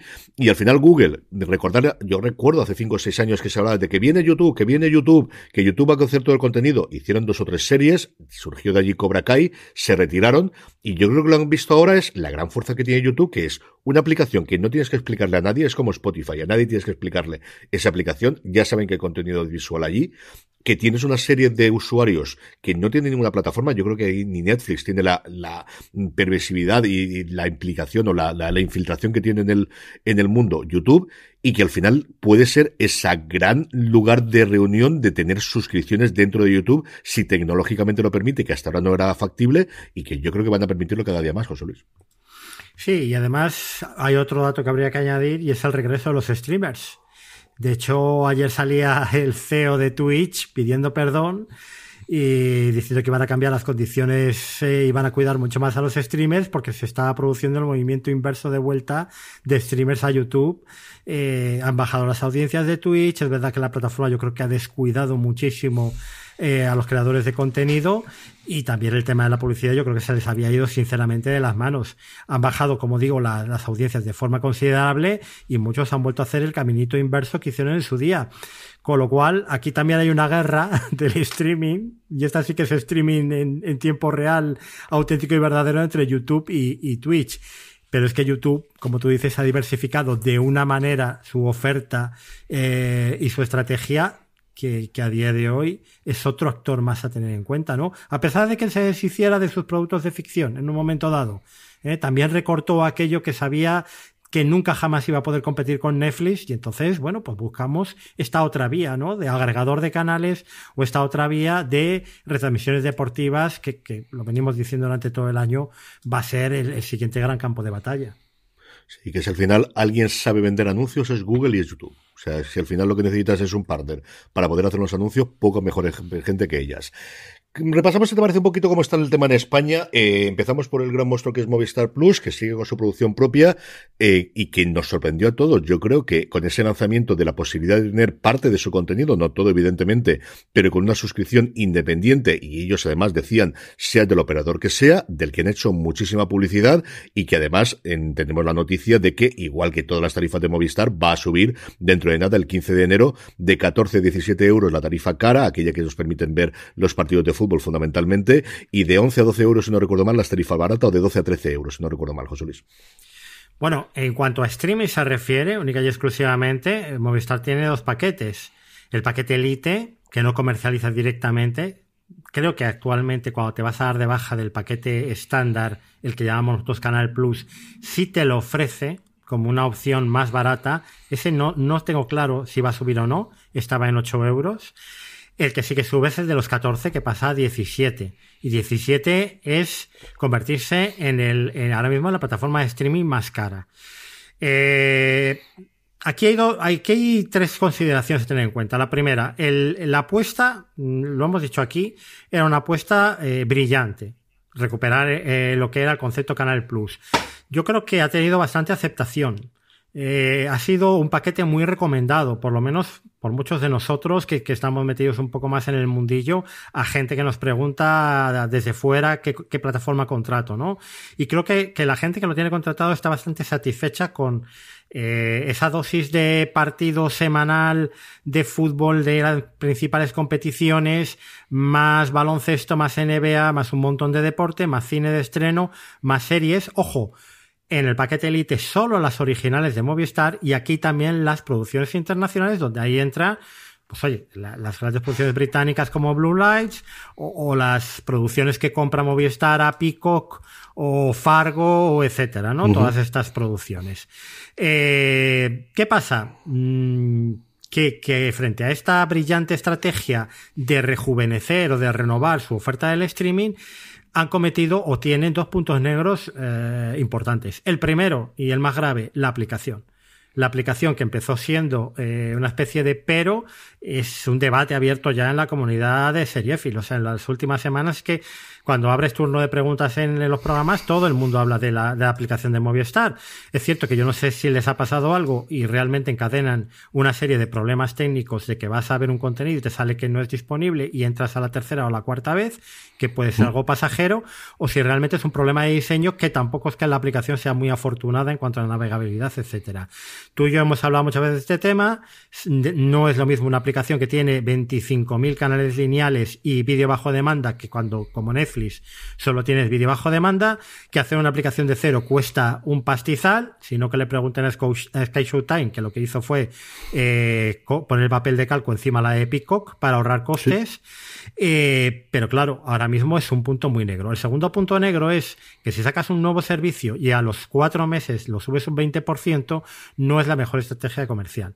Primero, porque ahuyentas a los que se lo estuvieran pensando y segundo, porque denotas que o bien los números no te están saliendo en cuanto, con los suscriptores que tienes, o que no tienes la sensibilidad necesaria para tratar la subida de los paquetes convergentes de una forma diferente a un paquete de streaming para gente que se la suda Movistar, que no es tu cliente porque es de otra plataforma y que realmente si está ahí es porque le interesa la calidad-precio, pero en cuanto le subes el precio puedes aparecer de la noche a la mañana. A ver, yo no soy, eh, vamos, que yo no voy a saber más que Payete, obviamente, eh, pero supongo que esto lo habrán pensado muy bien, pero desde luego nos deja un poquito perplejos o preocupados cuando, cuando poco, ¿no? A mí me pareció muy exagerada. Y es cierto que una subida más baja es complicado hacerla, pero es una subida que en números de euros enteros es similar a la que hay por los paquetes que cuestan 40, 50 o 90 euros cada uno de ellos. Entonces es una cosa loquísima. Que es cierto que Telefónica todos los años sube los precios. Lleva haciéndolo ocho años de forma consecutiva, todos los 15 de enero de cada uno de los años, después de las promociones que tienen de la vuelta del colegio y de las promociones que tienen en Navidad pero que yo creo que es una absoluta locura, como dices tú, seis meses después, después de haber tenido, yo creo que también esa buena idea de durante la, semana de Black Friday abrir a todo el mundo sin necesidad de suscripción ni de poner la tarjeta para que lo probase durante siete días y viese un par de partidos de fútbol y viese que tal funcionaba, yo creo que eso es alguna cosa demencial. Que todo al final son decisiones que se meten una en contra, sí. Telefónica tiene planeado un ERE de un tercio de la plantilla en España para el año que viene, que tiene que empezar a negociar con los, con los trabajadores dentro de nada, y al final yo creo que todo eso es en lo mismo. Un año que yo creo que en producción de series han tenido un año magnífico, de los mejores que yo recuerdo de la plataforma desde que se empezó a hacer la ficción, ya comenzando por el hijo zurdo que yo la defiendo absoluta y totalmente, la Mesías que va a ganar todos los premios de la crítica madrileña, el otro lado que y, la, Mesías probablemente en España ha sido el éxito de conversación del año. O sea, decíamos que no había un éxito de Netflix este año. El éxito de conversación del año es la Mesías. Yo cuando le escuchaba eh, o leía el otro día a Elena Neira recoger las declaraciones del eh, director de contenido que decía que por primera vez con un Movistar Original habían cogido un 40% de audiencia de entre 18 y 24 años, decía, pero esto es la hostia. Pero esto no lo han hecho en su puñetera vida esta gente. Nunca. Entonces, el fenómeno viral de este año no ha sido miércoles, ha sido la Mesías. El paquete, el paquete de Movistar Plus es un paquete cojonudo. O sea, para las familias, para alguien que quiera tener una plataforma solo y que esté cansado de, de los estrenos de series turcas de Netflix, Movistar Plus. Pero claro, si te pones, un, si pones un precio más caro que Netflix, es que no eres Netflix en el fondo, es que no eres el estándar. Eh, ahí es una apuesta de riesgo complicada. Y luego yo creo que podemos comentar muy rápidamente la diferencia que hay entre A3 Media y Mediaset. Yo creo que es paz, tranquilidad en A3 Media, que quizás no ha tenido un gran fenómeno como tuvo, nuevamente, fíjate hablando tú precisamente de, de la Mesías con Veneno en su momento, nuevamente, yo creo que sobre todo de la conversación más que de otras cosas, pero que siga su ritmo de un estreno al mes. Yo defiendo mucho Camino Superstar, tengo muchas ganas de ver la serie documental sobre Tino Casal que se va a estrenar el año que viene. No sé si le salen los números o no, pero al final como la publicidad especialmente de Antena 3 y hasta cierto punto de la sexta lo paga todo muy bien. Y luego Mediaset, que tiene una guerra civil montada desde la marcha de Basile y que veremos a ver si con la eh, huida recientemente de Prado se va a hacerla, más todos los follones que tiene de reinvención de un modelo que funcionó muy bien durante 15 años, basado fundamentalmente en Telecinco y lo poquito que le aporta 4, fundamentalmente First Dates, el chiringuito de los jugones y dos cositas más, pero, pero una Mediaset que sigue, yo creo, funcionando porque al final es un duopolio y porque el 95% de la publicidad que va a la tele tradicional va los dos grandes, a los dos grandes grupos desde que Televisión Española salió de allí, pero que si no tendría un problema bastante, bastante más gordo del que tiene a día de hoy, José Luis. Bueno, eh, esto veremos a ver cómo, cómo, soluciona. De todas maneras, fíjate, eh, en la 3 Media se está convirtiendo también en el otro sello de calidad de ficción española. Hmm. ¿eh? Junto con Movistar Plus. Ahora mismo, una persona, mm, yo en mi caso realmente es que tampoco soy tan fan, fan de la, de la afición española y sé que, que teniendo Movistar Plus, pues accedo a, las series más importantes. Pero si yo quisiera completar mi panorama y mi foto de la ficción española eh, de este 2023, la otra plataforma a contratar sería A3 Media. O sea, vosotros en, en Fuera Series yo creo que, que tenéis un seguimiento mucho más eh, certero de, todo lo que se estrena, pero yo os he oído hablar de las noches de Tefia, ahora el estreno de Vestidas de Azul, eh, La Red Púrpura, La Novia Gitana, son series de las que se ha hablado mucho este año y se está creando su propio sello de calidad de ficción española eh, como algo, y, y, tú lo comentabas antes, como un producto independiente dentro del propio grupo, ¿no? Sí. Sí, sí, totalmente. Yo creo que ahí yo no tenía nada claro que fuese a apostar tanto por la 3 Player.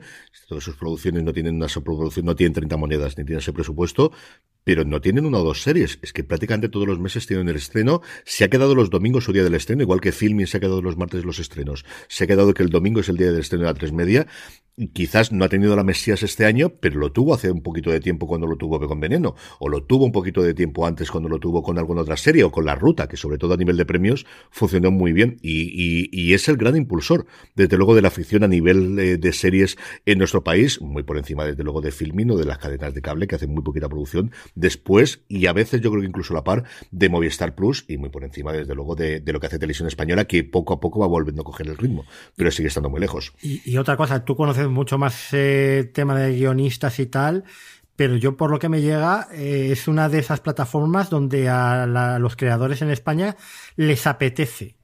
O sea, eh, cuando les llega un, tienen un proyecto y, obviamente cuando hay un interés por parte de Movistar es, como empezar a jugar la Champions, ¿no?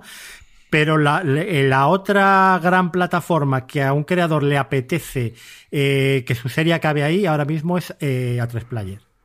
Sí, saben que vas a tener un presupuesto menor, pero que vas a poder funcionar relativamente independiente, que es cierto que la gente que trabaja en A3 Player no es exactamente mismo de Antena 3 y que, y que luego las series viajen internacionalmente. O sea, yo creo que la otra cosa es, pero esto se queda solo en España. No, no. Las series si funciona bien, y ahí tienes el caso de la, de la Casa de Papel, quizás el más emblemático, pero si funciona bien, con Paquita Salas también, veremos si lo vendemos.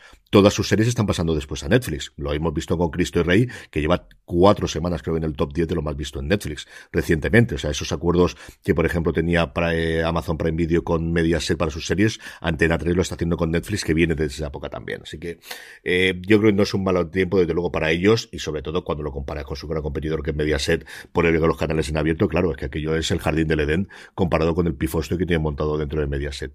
Y luego tenemos los pequeños, si quieres que comentemos alguna cosa de AMC, de Filming o del resto de los canales, que yo creo que es a verlas venir y qué ocurre con el futuro, si todo va al streaming y qué posición fundamentalmente, José Luis.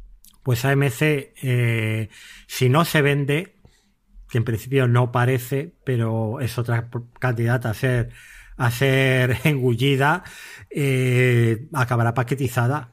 Y acabará paquetizada. En principio, nosotros pensamos que con, con Max, con HBO Max, porque hicieron ya aquella prueba y parece mm. que tiene esas buenas sinergias de, de vender juntos el paquete. AMC de todas maneras sigue siendo un canal, pero claro, los canales tienen una visibilidad muy reducida. Lo estamos viendo con Metro Goldwyn Mayer Plus, que al final las series originales que Amazon había encargado para reflotar el canal han acabado en Movistar, aquí en España porque The Winter King, que es como, digamos, la serie bandera de MGM Plus de este año, se estrena el 29 de diciembre en Movistar Plus. No viene aquí a, a, captar suscripciones para MGM Plus, ¿no? La cancelación, por ejemplo, de, de Hulu de The Great, de la serie de Catalina la Grande, pues también le ha hecho un roto en este sentido a MGM Plus como canal. Bueno, veremos a ver. AMC Plus tiene pendiente de estreno la segunda temporada de nuestra querida entrevista con el vampiro. Tiene la serie de um, Clive Owen, de Sam Spade. Y Lucky Hank la, la, ha cancelado esta mañana, esta madrugada, con lo cual no creo, no sé yo si se estrenará en España ya directamente o, perdemos la esperanza. Igual la acaban pasando en lineal en AMC Select o una cosa así, de tapadillo. Y bueno, pues es eso, o, o, vendida o paquetizada, ¿no? Eso es el futuro. Y en cuanto a sí, todo, sí. Sí, Carlos. Y todo el, grupo que tengan eh, o todo lo que puedan hacer eh, sobre el universo de, The Walking Dead, Daryl Dixon yo creo que le ha dado un poquito de nuevo respiro a ver qué ocurre ahora con la nueva serie que tengamos. Aquí en España es cierto que a es mucho más que solamente la plataforma, son los veintitantos canales que hay. Esa estrategia o ese cambio que tuvieron AMC Select saliendo del paquete clásico de, Movistar. Y es un sitio muy grande en España, pero con un futuro muy incierto porque los canales de, cable cada día van para atrás y a ver si eso lo meten en streaming, que a día de hoy no está disponible. Hmm. Y luego, por último, Filming. Pero bueno, Filming es que es la guerra por su parte, a pesar de que tiene ya fondos de inversión detrás, que ha comprado todos los catálogos habidos y por haber de cine clásico, de que sigue siendo el referente en cuanto a ficción británica, yo sospecho que porque tiene a Mejino eh, susurrándole a, a Ripoll al oído lo que tiene que comprar y porque luego en cuanto a producción europea, pues eh, realmente son la curación que tienen no solo se reduce a eso, sino que se patean los mil y un festivales y llegan a series suecas, series eh, alemanas, series polacas antes que nadie, ¿no? Y, y al final yo siempre lo digo, en filming no ves una serie mala ni aun proponiéndotelo. Eh, bueno, pues es una, es una liga aparte. Yo sigo enamorado de que siga costando 8 euros como hace prácticamente 10 años, eh, que no ha cambiado el precio de suscripción, que lo que dan por ese precio es enorme, que tenemos mucha suerte de tener una plataforma así en España y, y tampoco podemos obviar que los fondos europeos pues son gran parte del sostén y del, y de la, eh, el que Filmin siga operando a día de hoy en España, ¿no? Entonces. Sí. Sí, yo tengo curiosidad por ver cuánto apuestan por la producción original durante el año que viene. Hasta ahora cierto, de hecho, cositas pequeñas, no tiene una gran superproducción, pero yo creo que en algún momento dado darán el salto, yo creo que con coproducciones. Yo creo que no tanto una producción propia, sino con coproducciones. Yo creo que ahí lo que se ha podido ver ahora con esto en Suecia es algo en lo que Filmin podría haber entrado. Yo creo que una serie quizás no tenían tanto dinero como ha metido Radio y Televisión Española, pero que creo que podrían entrar ahí perfectamente. Vamos ya con las preguntas de los oyentes después de repasar todo este 2023. Dos preguntas que nos vienen de dos personas que conocemos los dos. Porque como hemos mandado esto al grupo de Telegram y estamos en el puente y se ve que la única gente que está trabajando son los que tenemos alrededor, don Jorge Navas nos escribía y nos preguntaba cuál crees que será el primer bundle de plataformas en el 2024 en Estados Unidos, sin contar las ofertas de empresas de telefonía. Veremos alguna fusión en 2024. Pues, eh, a ver, aquí eh, hay que trabajar con datos o, o, o, trabajamos con fantasías animadas de, de la... Yo creo fantasía de ayer y hoy, esos son los mejores. yo, soy, sabes que yo soy del bando de Apple no va a comprar absolutamente nada. Porque esa es el, la fantasía favorita de la prensa americana, es uh -huh. qué va a comprar Apple esta semana. Y como tú y yo tenemos ya eh, callos eh, de, de, seguir a Apple y de haber pasado por eh, Apple compra Spotify, Apple compra Adobe, Apple compra Dropbox, Apple compra eh, Tesla. Eh, bueno, pues es que no, Apple no compra nada. Apple sí se paquetizará probablemente. Con Paramount, pues esa es la más clara, ¿no? Esa es la más clara. El bundle, el primer bundle del año va a ser el de Disney, el de Disney con Hulu en todo el mundo. Recordad que aquí sí lo tenemos ya paquetizado. Yo no sé cómo se las arreglarán para cobrarnos más por algo que ya tenemos. Esa es una, una cosa que yo tengo ahí mis dudas. Lo de SPN yo creo que tardará bastante más en llegar. Ese va a ser el primer, el primer bundle, ¿no? El azulejito de, de Hulu. Eh, lo de Apple, lo más claro. Lo demás, eh, ahí en, en, el canal de Fuera de Series decían que Netflix y, y que Warner. Pues no. Yo eso no lo veo para nada. Eh, vamos, Netflix solo le faltaba co comprar una empresa con la deuda ahí que tiene. Bastante. No, Netflix tirará sola, como ha tirado siempre, y cuando eres el líder no necesitas a nadie al lado eh, chupándote la rueda. Eh, así que eso, es, eso es lo que, lo que pienso. Pero bueno, veremos a ver. Hay otro bundle también en ciernes que es el, el de. El de. El de AMC, ¿no? Pero eso parece que está más verde. No, tenemos datos de las pruebas de meter la programación dentro de, de, de, Max como les fue, así que tampoco podemos hablar. Yo, esa sería desde luego la apuesta inicial que yo tendría, que es la de Warner con AMC por la experiencia previa y por el hecho de que Max en Estados Unidos ya tenga ese azulejito de, de Bastul Sports actualmente. Pero después de los rumores de Apple, yo creo que si las plataformas o el resto de los compañías están dispuestos a hacerlo, creo que Apple está absolutamente dispuesta a abrir con los brazos abiertos todas las suscripciones. Otra cosa es que Apple quiera lanzar más de una suscripción conjunta.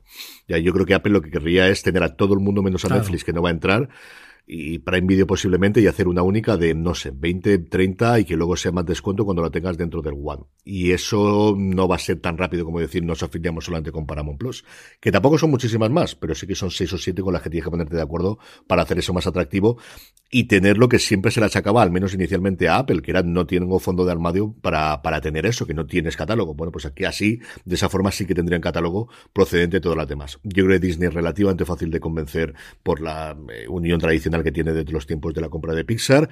Creo que Páramos es el todo rumores porque algo quieren. Y yo creo que con uno o dos más estaría la cosa cubierta, más allá del deporte, que esa sería la segunda parte.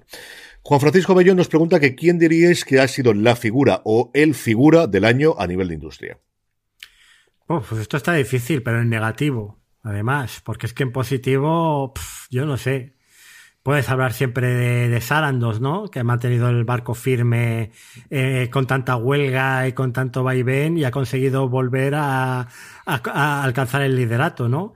En, lo negativo, pues, pues, pues, reparte tú entre, entre quieras, entre Hola Bob, Hola Bob y, y, Zaslav, ¿no? Que, que, yo creo que han sido qué tal. Y luego eh, Eterno Landgraf, ¿no? Podríamos decir. Todos queremos ser Landgraf. O sea, yo vengo de contaros que para mí eh, Disney Plus es la mejor plataforma del año y, y, no debido precisamente a sus series de Star Wars, sino a FX. Hulu FX. ¿Quién está al mando de FX? Pues el alcalde de Landgraf el bien llamado alcalde de la televisión por parte de la crítica americana, donde todo el mundo quiere estar y donde pues, se pueden hacer joyas como de Bear, que igual en otro sitio no hubieran funcionado jamás o no hubieran, se hubieran sido como son, eh, donde se puede hacer eh, miniaturas como Fleischman están apuros, donde se pueden hacer una serie como Reservation Dogs, que te puede gustar más o menos la última temporada, pero que sigue siendo algo eh, que se sale del molde y, bueno, pues cuando Landgraf llegó a FX y, instauró aquel lema de fearless, es decir, te sientas delante de la pantalla y no tengas miedo que lo que vas a ver va a merecer la pena, te puedes sentar sin miedo a ver una serie de FX, pues a día de hoy para mí es el, el estándar de la industria que añadís también a, yo no sé quién está en Apple a cargo de, Apple TV Plus. Los dos, bueno, de arriba está el, cubano. El, vicepresidente toda la vida de entretenimiento y luego están los dos que ficharon de Sony originalmente. Pues bueno, pues eh, a ver, están haciendo las cosas muy bien en cuanto a la calidad, ¿no? Pero bueno, si tuviéramos que quedarnos con uno, mm, probablemente tendría que ser Sarandos porque es muy difícil volver a llevar a Netflix después de todo lo que han pasado en 12 meses, volverlo a colocarlo en la posición en la que acaba este 2023. El responsable de todo es DQ, pero realmente los que llevan el estudio son las dos personas que ficharon originalmente de Sony. Mi figura de este año es el otro lado de la mesa, que es Frank Dredsen.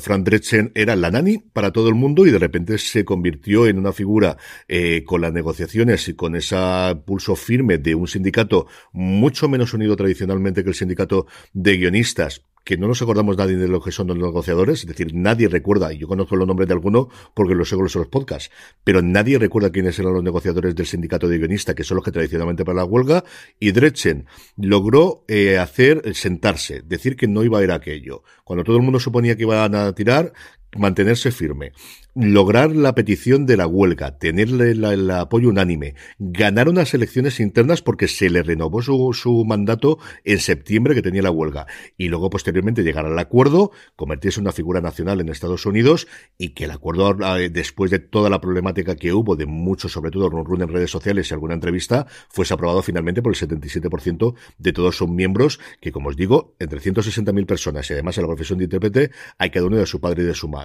Duncan Captriail que fue el negociador principal, yo creo que también es un tío muy interesante para hacerlo, pero yo desde luego para mí la figura es Frank Dreschen, que yo no sé si se va a quedar en esto o ya rumoreaba de que pudiese meterse en política en Estados Unidos y yo no la descartaría para una gobernadora de California o para alguna cosa más grande en los próximos tiempos. Creo que al final se ha colocado ese marchamo en un momento de mucho, en una eh, ocasión de muchísimo movimiento en materia laboral en Estados Unidos. Creo que Frank Drescher para mí es la que, la figura más importante que ha habido este año, al menos de novedad correspondiente con lo que podíamos esperar previamente.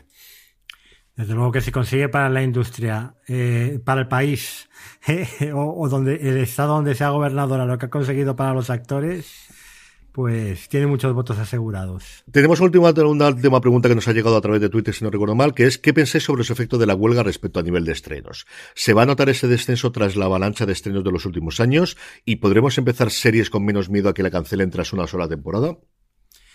Pues se va a notar en estos primeros meses del año. Mm, yo creo que en Netflix no. Yo creo que en HBO se ha notado y se notará menos. Y en el resto, pues veremos. Eh, probablemente en Sky Showtime se siga notando igual la, la de estrenos de siempre. Y, bueno, pues eh, dice además con ese recorte de la producción se debería de notar, por ejemplo, ¿no? Eh, o en Apple también se debería de notar. Eh, no lo veremos la disminución en la calidad, pero sí lo veremos en, el ritmo de estrenos por eso, por la huelga y sobre todo porque ya sabéis que se va a recortar el gasto. Y luego, ¿podremos empezar series como No Miedo? Pues no. Ahora mismo todo es cancelable. Incluido series que están ya rodadas. ¿eh? Y que de repente aparecen en Tubi. Porque les han dado X dinero a, a cambio de la serie y les sale más rentable venderla que estrenarla una vez que está acabada. Entonces, eso no. Sí, todo es cancelable, igual que todo es renovable y todo es resucitable. O sea, estamos en un momento en el que nadie sabe qué es lo que ocurre. Como dice José Luis, la gran diferencia es que hasta cosas que estaban renovadas son canceladas y cosas que están canceladas de repente son resucitadas. Es una cosa absolutamente loca. Sobre lo anterior, exactamente lo mismo. Es decir, yo creo que vamos a tener el efecto inmediato de todo lo que no se ha podido rodar, que quizá va a afectar más a cine que a televisión en los próximos tiempos, porque la maquinaria se pone en marcha antes, pero sí que vamos a tener, derivado fundamentalmente de la situación financiera, muchísimo menos producción en los próximos tiempos y ya se están notando muchísimo con los anuncios que tenemos en comparación con años anteriores. Yo creo que por fin Landgraf, que hablaba José Luis de él, va a poder decir en una reunión con periodistas de veis como ya hay menos producción, que lo llevo diciendo ocho años que llegamos al pic. Bueno, pues ocho años después de decirlo, ya hemos llegado al pic TV. Parece que en el 2024 sí que llegaremos a ese pic TV y por fin tendrá razón en esa cosa Landgraf, que es muy divertido ver cómo desde que lo dijo año tras año seguía subiendo todas las producciones. Pero, esta última era la buena, ¿eh? Yo la Esta última sí que me la creí. Sí, sí. Esto es como el coche de Apple o como el, no me acuerdo que era la otra cosa que decía siempre Manster, que el año que viene llega, el año que viene llega, la televisión, acuérdate, la época de la televisión de Apple y luego el coche de Apple, que todos los años llegaban al año siguiente y estuvimos como 10 años con aquello. Eh, la encuesta del mes, el, digo los resultados del mes pasado, os preguntamos acerca de la incesante subida de precio de las plataformas. ¿Qué ibas a hacerla? Bueno, pues el 50% de nuestros oyentes en Spotify nos decían que querían seguir pagándolo a todas, un 33% que empezaban a rotarlas o a quitarlas y el 17% decidía que hasta aquí hemos llegado, me voy de todas y ya lo buscaré de otra forma, el, el poder consumir mi contenido audiovisual. Este mes os queremos preguntar evidentemente de este 2023, ¿quién ha ganado el 2023? Tendréis todas las ofertas de principales conglomerados. Aquí he puesto Netflix, Apple, Amazon y Disney, pero creo recordar de memoria que Spotify deja seis, así que si hay más huecos, tendréis más huecos. ¿Cuál de todos los diferentes conglomerados y plataformas creéis que ha ganado este 2023? Y terminamos, José Luis, como siempre, con las recomendaciones del mes. Bueno, pues en cuanto a artículos, un artículo de Deadline que, ha escrito Dave Hayes, hablando precisamente de algo que comentábamos, que es el estreno en las cadenas network lineales de series que eran hasta ahora exclusivas del streaming. Y esto al hilo de que otro de los grandes iconos del streaming, como es asesinatos, solo asesinatos en el edificio, se estrenan en enero en ABC en lineal, para ir cubriendo estas huelgas de, de los huecos que han dejado las huelgas de guionistas y de actores. Eh, esto sabemos que le está reportando a las cadenas nuevas suscripciones a las plataformas de streaming, sobre todo el fenómeno Yellowstone le ha dado grandes satisfacciones tanto a Pico como a Paramount Plus. Y entonces en el artículo hay unos gráficos muy interesantes de en cuánto se solapa el servicio de streaming con la cadena lineal correspondiente. Empezando por Disney y su cadena network tradicional clásica, la ABC, Hulu solapa un 12% de, los programas, ya están disponibles en lineal, y Disney Plus un 9%. Que bueno, es una cifra que más o menos, bueno, pues eh, se puede entender como normal. Eh, aumenta en el caso de CBS y de Paramount Plus. Ya sabéis que van a ir estrenando las series de Taylor Sheridan en CBS, que están teniendo una aceptación brutal y que, sobre todo, es eso. Hay unas sinergias increíbles que están aprovechando las empresas de un mismo producto, por explotar pues en varias ventanas, en varias formas. Bueno, pues el 17% sube, ya prácticamente casi el doble de lo que ocurría con la plataforma de Disney. Pero es que si le añadimos NBC y Peacock, o sea, las sinergias, el el, solapamiento de la programación llega hasta el 45%, que es casi la mitad de los programas originales de Pico que acaban en NBC. Con lo cual, y ahora sí Peacock sigue ganando suscriptores. Con lo cual, claro, esta estrategia eh, la están copiando todos. Entonces, vamos a meter nuestras series ya no metidas, guardaditas, candaditas en nuestra plataforma de streaming, sino vamos a ponerla un escaparate en los canales lineales porque la gente va a querer ver las nuevas temporadas en streaming y vamos a dárselas también a, a Netflix por lo mismo exactamente, porque es otro escaparate gigantesco.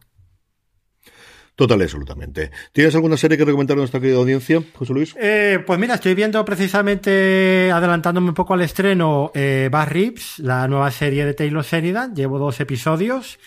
De momento bien, pero bueno, no está escrita por Taylor Sheridan. Aquí solo está en la producción. Y eso se nota un poco en el pulso y la narración de, de la historia.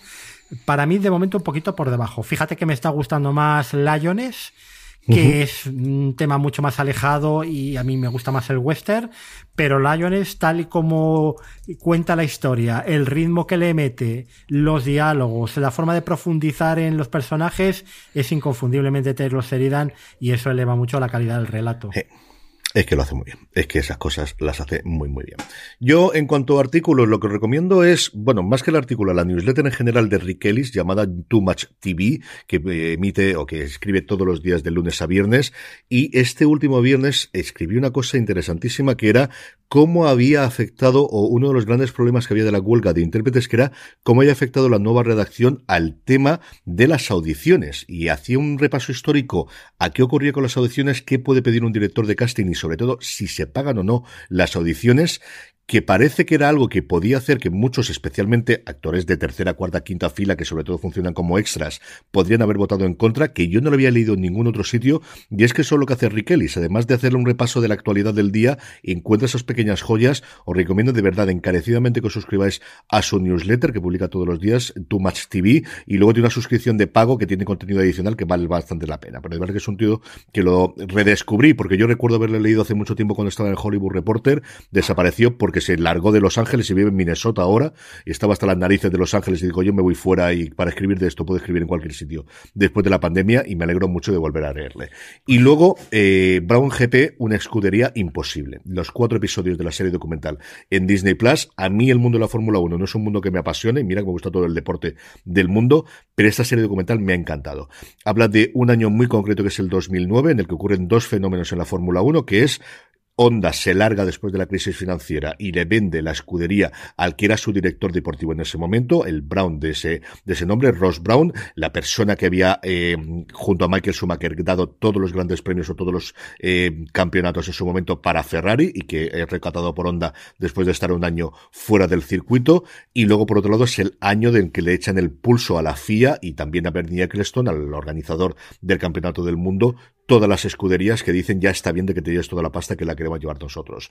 Son cuatro episodios documentales que tienen acceso a todo el mundo, entrevistan a todo el mundo, incluido Bernie Eccleston, que ves que es esto es lo que es una persona que está por encima del bien del mal y que da exactamente lo mismo todo. O sea, la entrevista está con gafas de sol, contestando lo que le da la gana, es una cosa divertidísima. Y luego está presentado y de qué forma por Keanu Reeves, que es un fanático de la Fórmula 1, que es un fanático de la velocidad, que el tío se lo sabe, y que es de las mejores personas entrevistando en cámara que yo he visto en muchísimo tiempo. O sea, dejando aparte otros documentales en el que no haya la entrevista allí y la tengas por detrás, como el caso de Beckham, creo que es de las mejores personas que he visto documental. Como digo, un tema que a mí, dentro de que es deporte, no me vuelve loco, en la serie documental creo que está a la altura de Beckham como los dos mejores documentales de, deportivos que yo he visto este año. Así que Brown GP, escrito con A, Brown GP, una escudería imposible en Disney Plus, es mi recomendación, vedla, vale muchísimo, muchísimo la pena esta serie. Bueno, pues eh, le echaré un vistazo. Y yo de Rick Ellis, ¿qué te puedo decir? Que es suscriptor de Over the Top, que es una de las mm. sorpresas más grandes que me he llevado. No me digas. En mi vida, ver a Rick Ellis leyéndose mi, mi newsletter, que me parece extrañísimo porque es en español, además, pero bueno. Hay la magia de Substack y las referencias cruzadas, me imagino. Seguro que seguro que sí. Yo juraría que también la tengo yo. No sé si fuera de series o la mía personal. Yo creo que eso es una cosa, pero es curiosísimo. Desde luego que. que... Ya te digo que además, eh, bueno, que me abre todos los mails. ¿eh? Aquí tengo el. Eh, oh, 7 de diciembre, abierto el email de la Mesías. 22 de noviembre, abierto el mail de. Eso está muy de bien. tal, de Luces de Belfast, la crítica de. Qué guay. Bueno, pues me ha encontrado el hombre por ahí por Substack y ahí, ahí me lee. Así que bueno, pues yo encantado. Ahora se va a pegar un buen atracón a final de año a leerme. Di que sí. José Luis, despedimos como siempre el programa recordando dónde puede leerte la gente en www.overdetop.es eh, y dónde puede encontrar en Twitter y en redes sociales. Bueno, pues si queréis como Rikelis eh, leer la newsletter, eh, www.overdetop.es y luego el podcast que es quincenal en, en vuestro podcatcher habitual, en Apple Podcasts, en Spotify, etcétera. Las redes sociales arroba overdetopes en Twitter, telegram.me barra overdetopes y en Mastodon. He vuelto a Mastodon, Carlos, y a través de la aplicación esta de Mona, que es maravillosa, lo uso hasta como lector de noticias, porque Hollywood Ah, Reporter del y todos están en Mastodon, y es un placer poderlos leer sin anuncios y, y, además con esta aplicación que tienes para hacer bookmarking y de todo, pues en Mastodon es arroba overdetopes arroba masto.es. Pues mira, volveré yo porque tuve un arrancón muy grande de utilizarlo, luego lo dejé de utilizar porque al final dejo de utilizar todas las redes sociales, pero eso que me estás contando tú, eso sí que me interesa bastante. Pues mira, final... Mastodon sigue siendo un erial en cuanto a interacciones, porque la verdad es que somos cuatro gatos, pero te digo una cosa, eh, como los medios americanos están todos en Mastodon, sí. es una forma fantástica de simplemente focalizarte, leer lo que te interesa y sin anuncios como en Twitter, sin historias raras, sin nada. Y además que, que, la aplicación esta, cuando la descubra, vas a hacer el pago, como hice yo, de 23 euros de esto de para toda la vida, porque te da una cantidad de opciones para, para hacer con, con todo lo, la información que te llega de ahí, con un flujo de trabajo increíble. increíble. Pues le echaré un ojo, desde luego, indudablemente. Lo demás, ya sabéis, muchísimo más contenido fuera de series de cara a toda esta Navidad. Estamos haciendo un montón de cosas, entrevistas, programas especiales, nuestro streaming diario y todos los domingos también el fuera de series con Jorge Don y con Don Carlos. Don José Luis Hurtado, un abrazo muy fuerte, feliz Navidad y feliz salida y entrada de año. Pues igualmente, Carlos, nos vemos a final de enero para el primero verde top del año. Efectivamente, y a todos vosotros, querido audiencia, gracias por escucharnos, gracias por estar ahí. Recordad, tened muchísimo cuidado ahí fuera.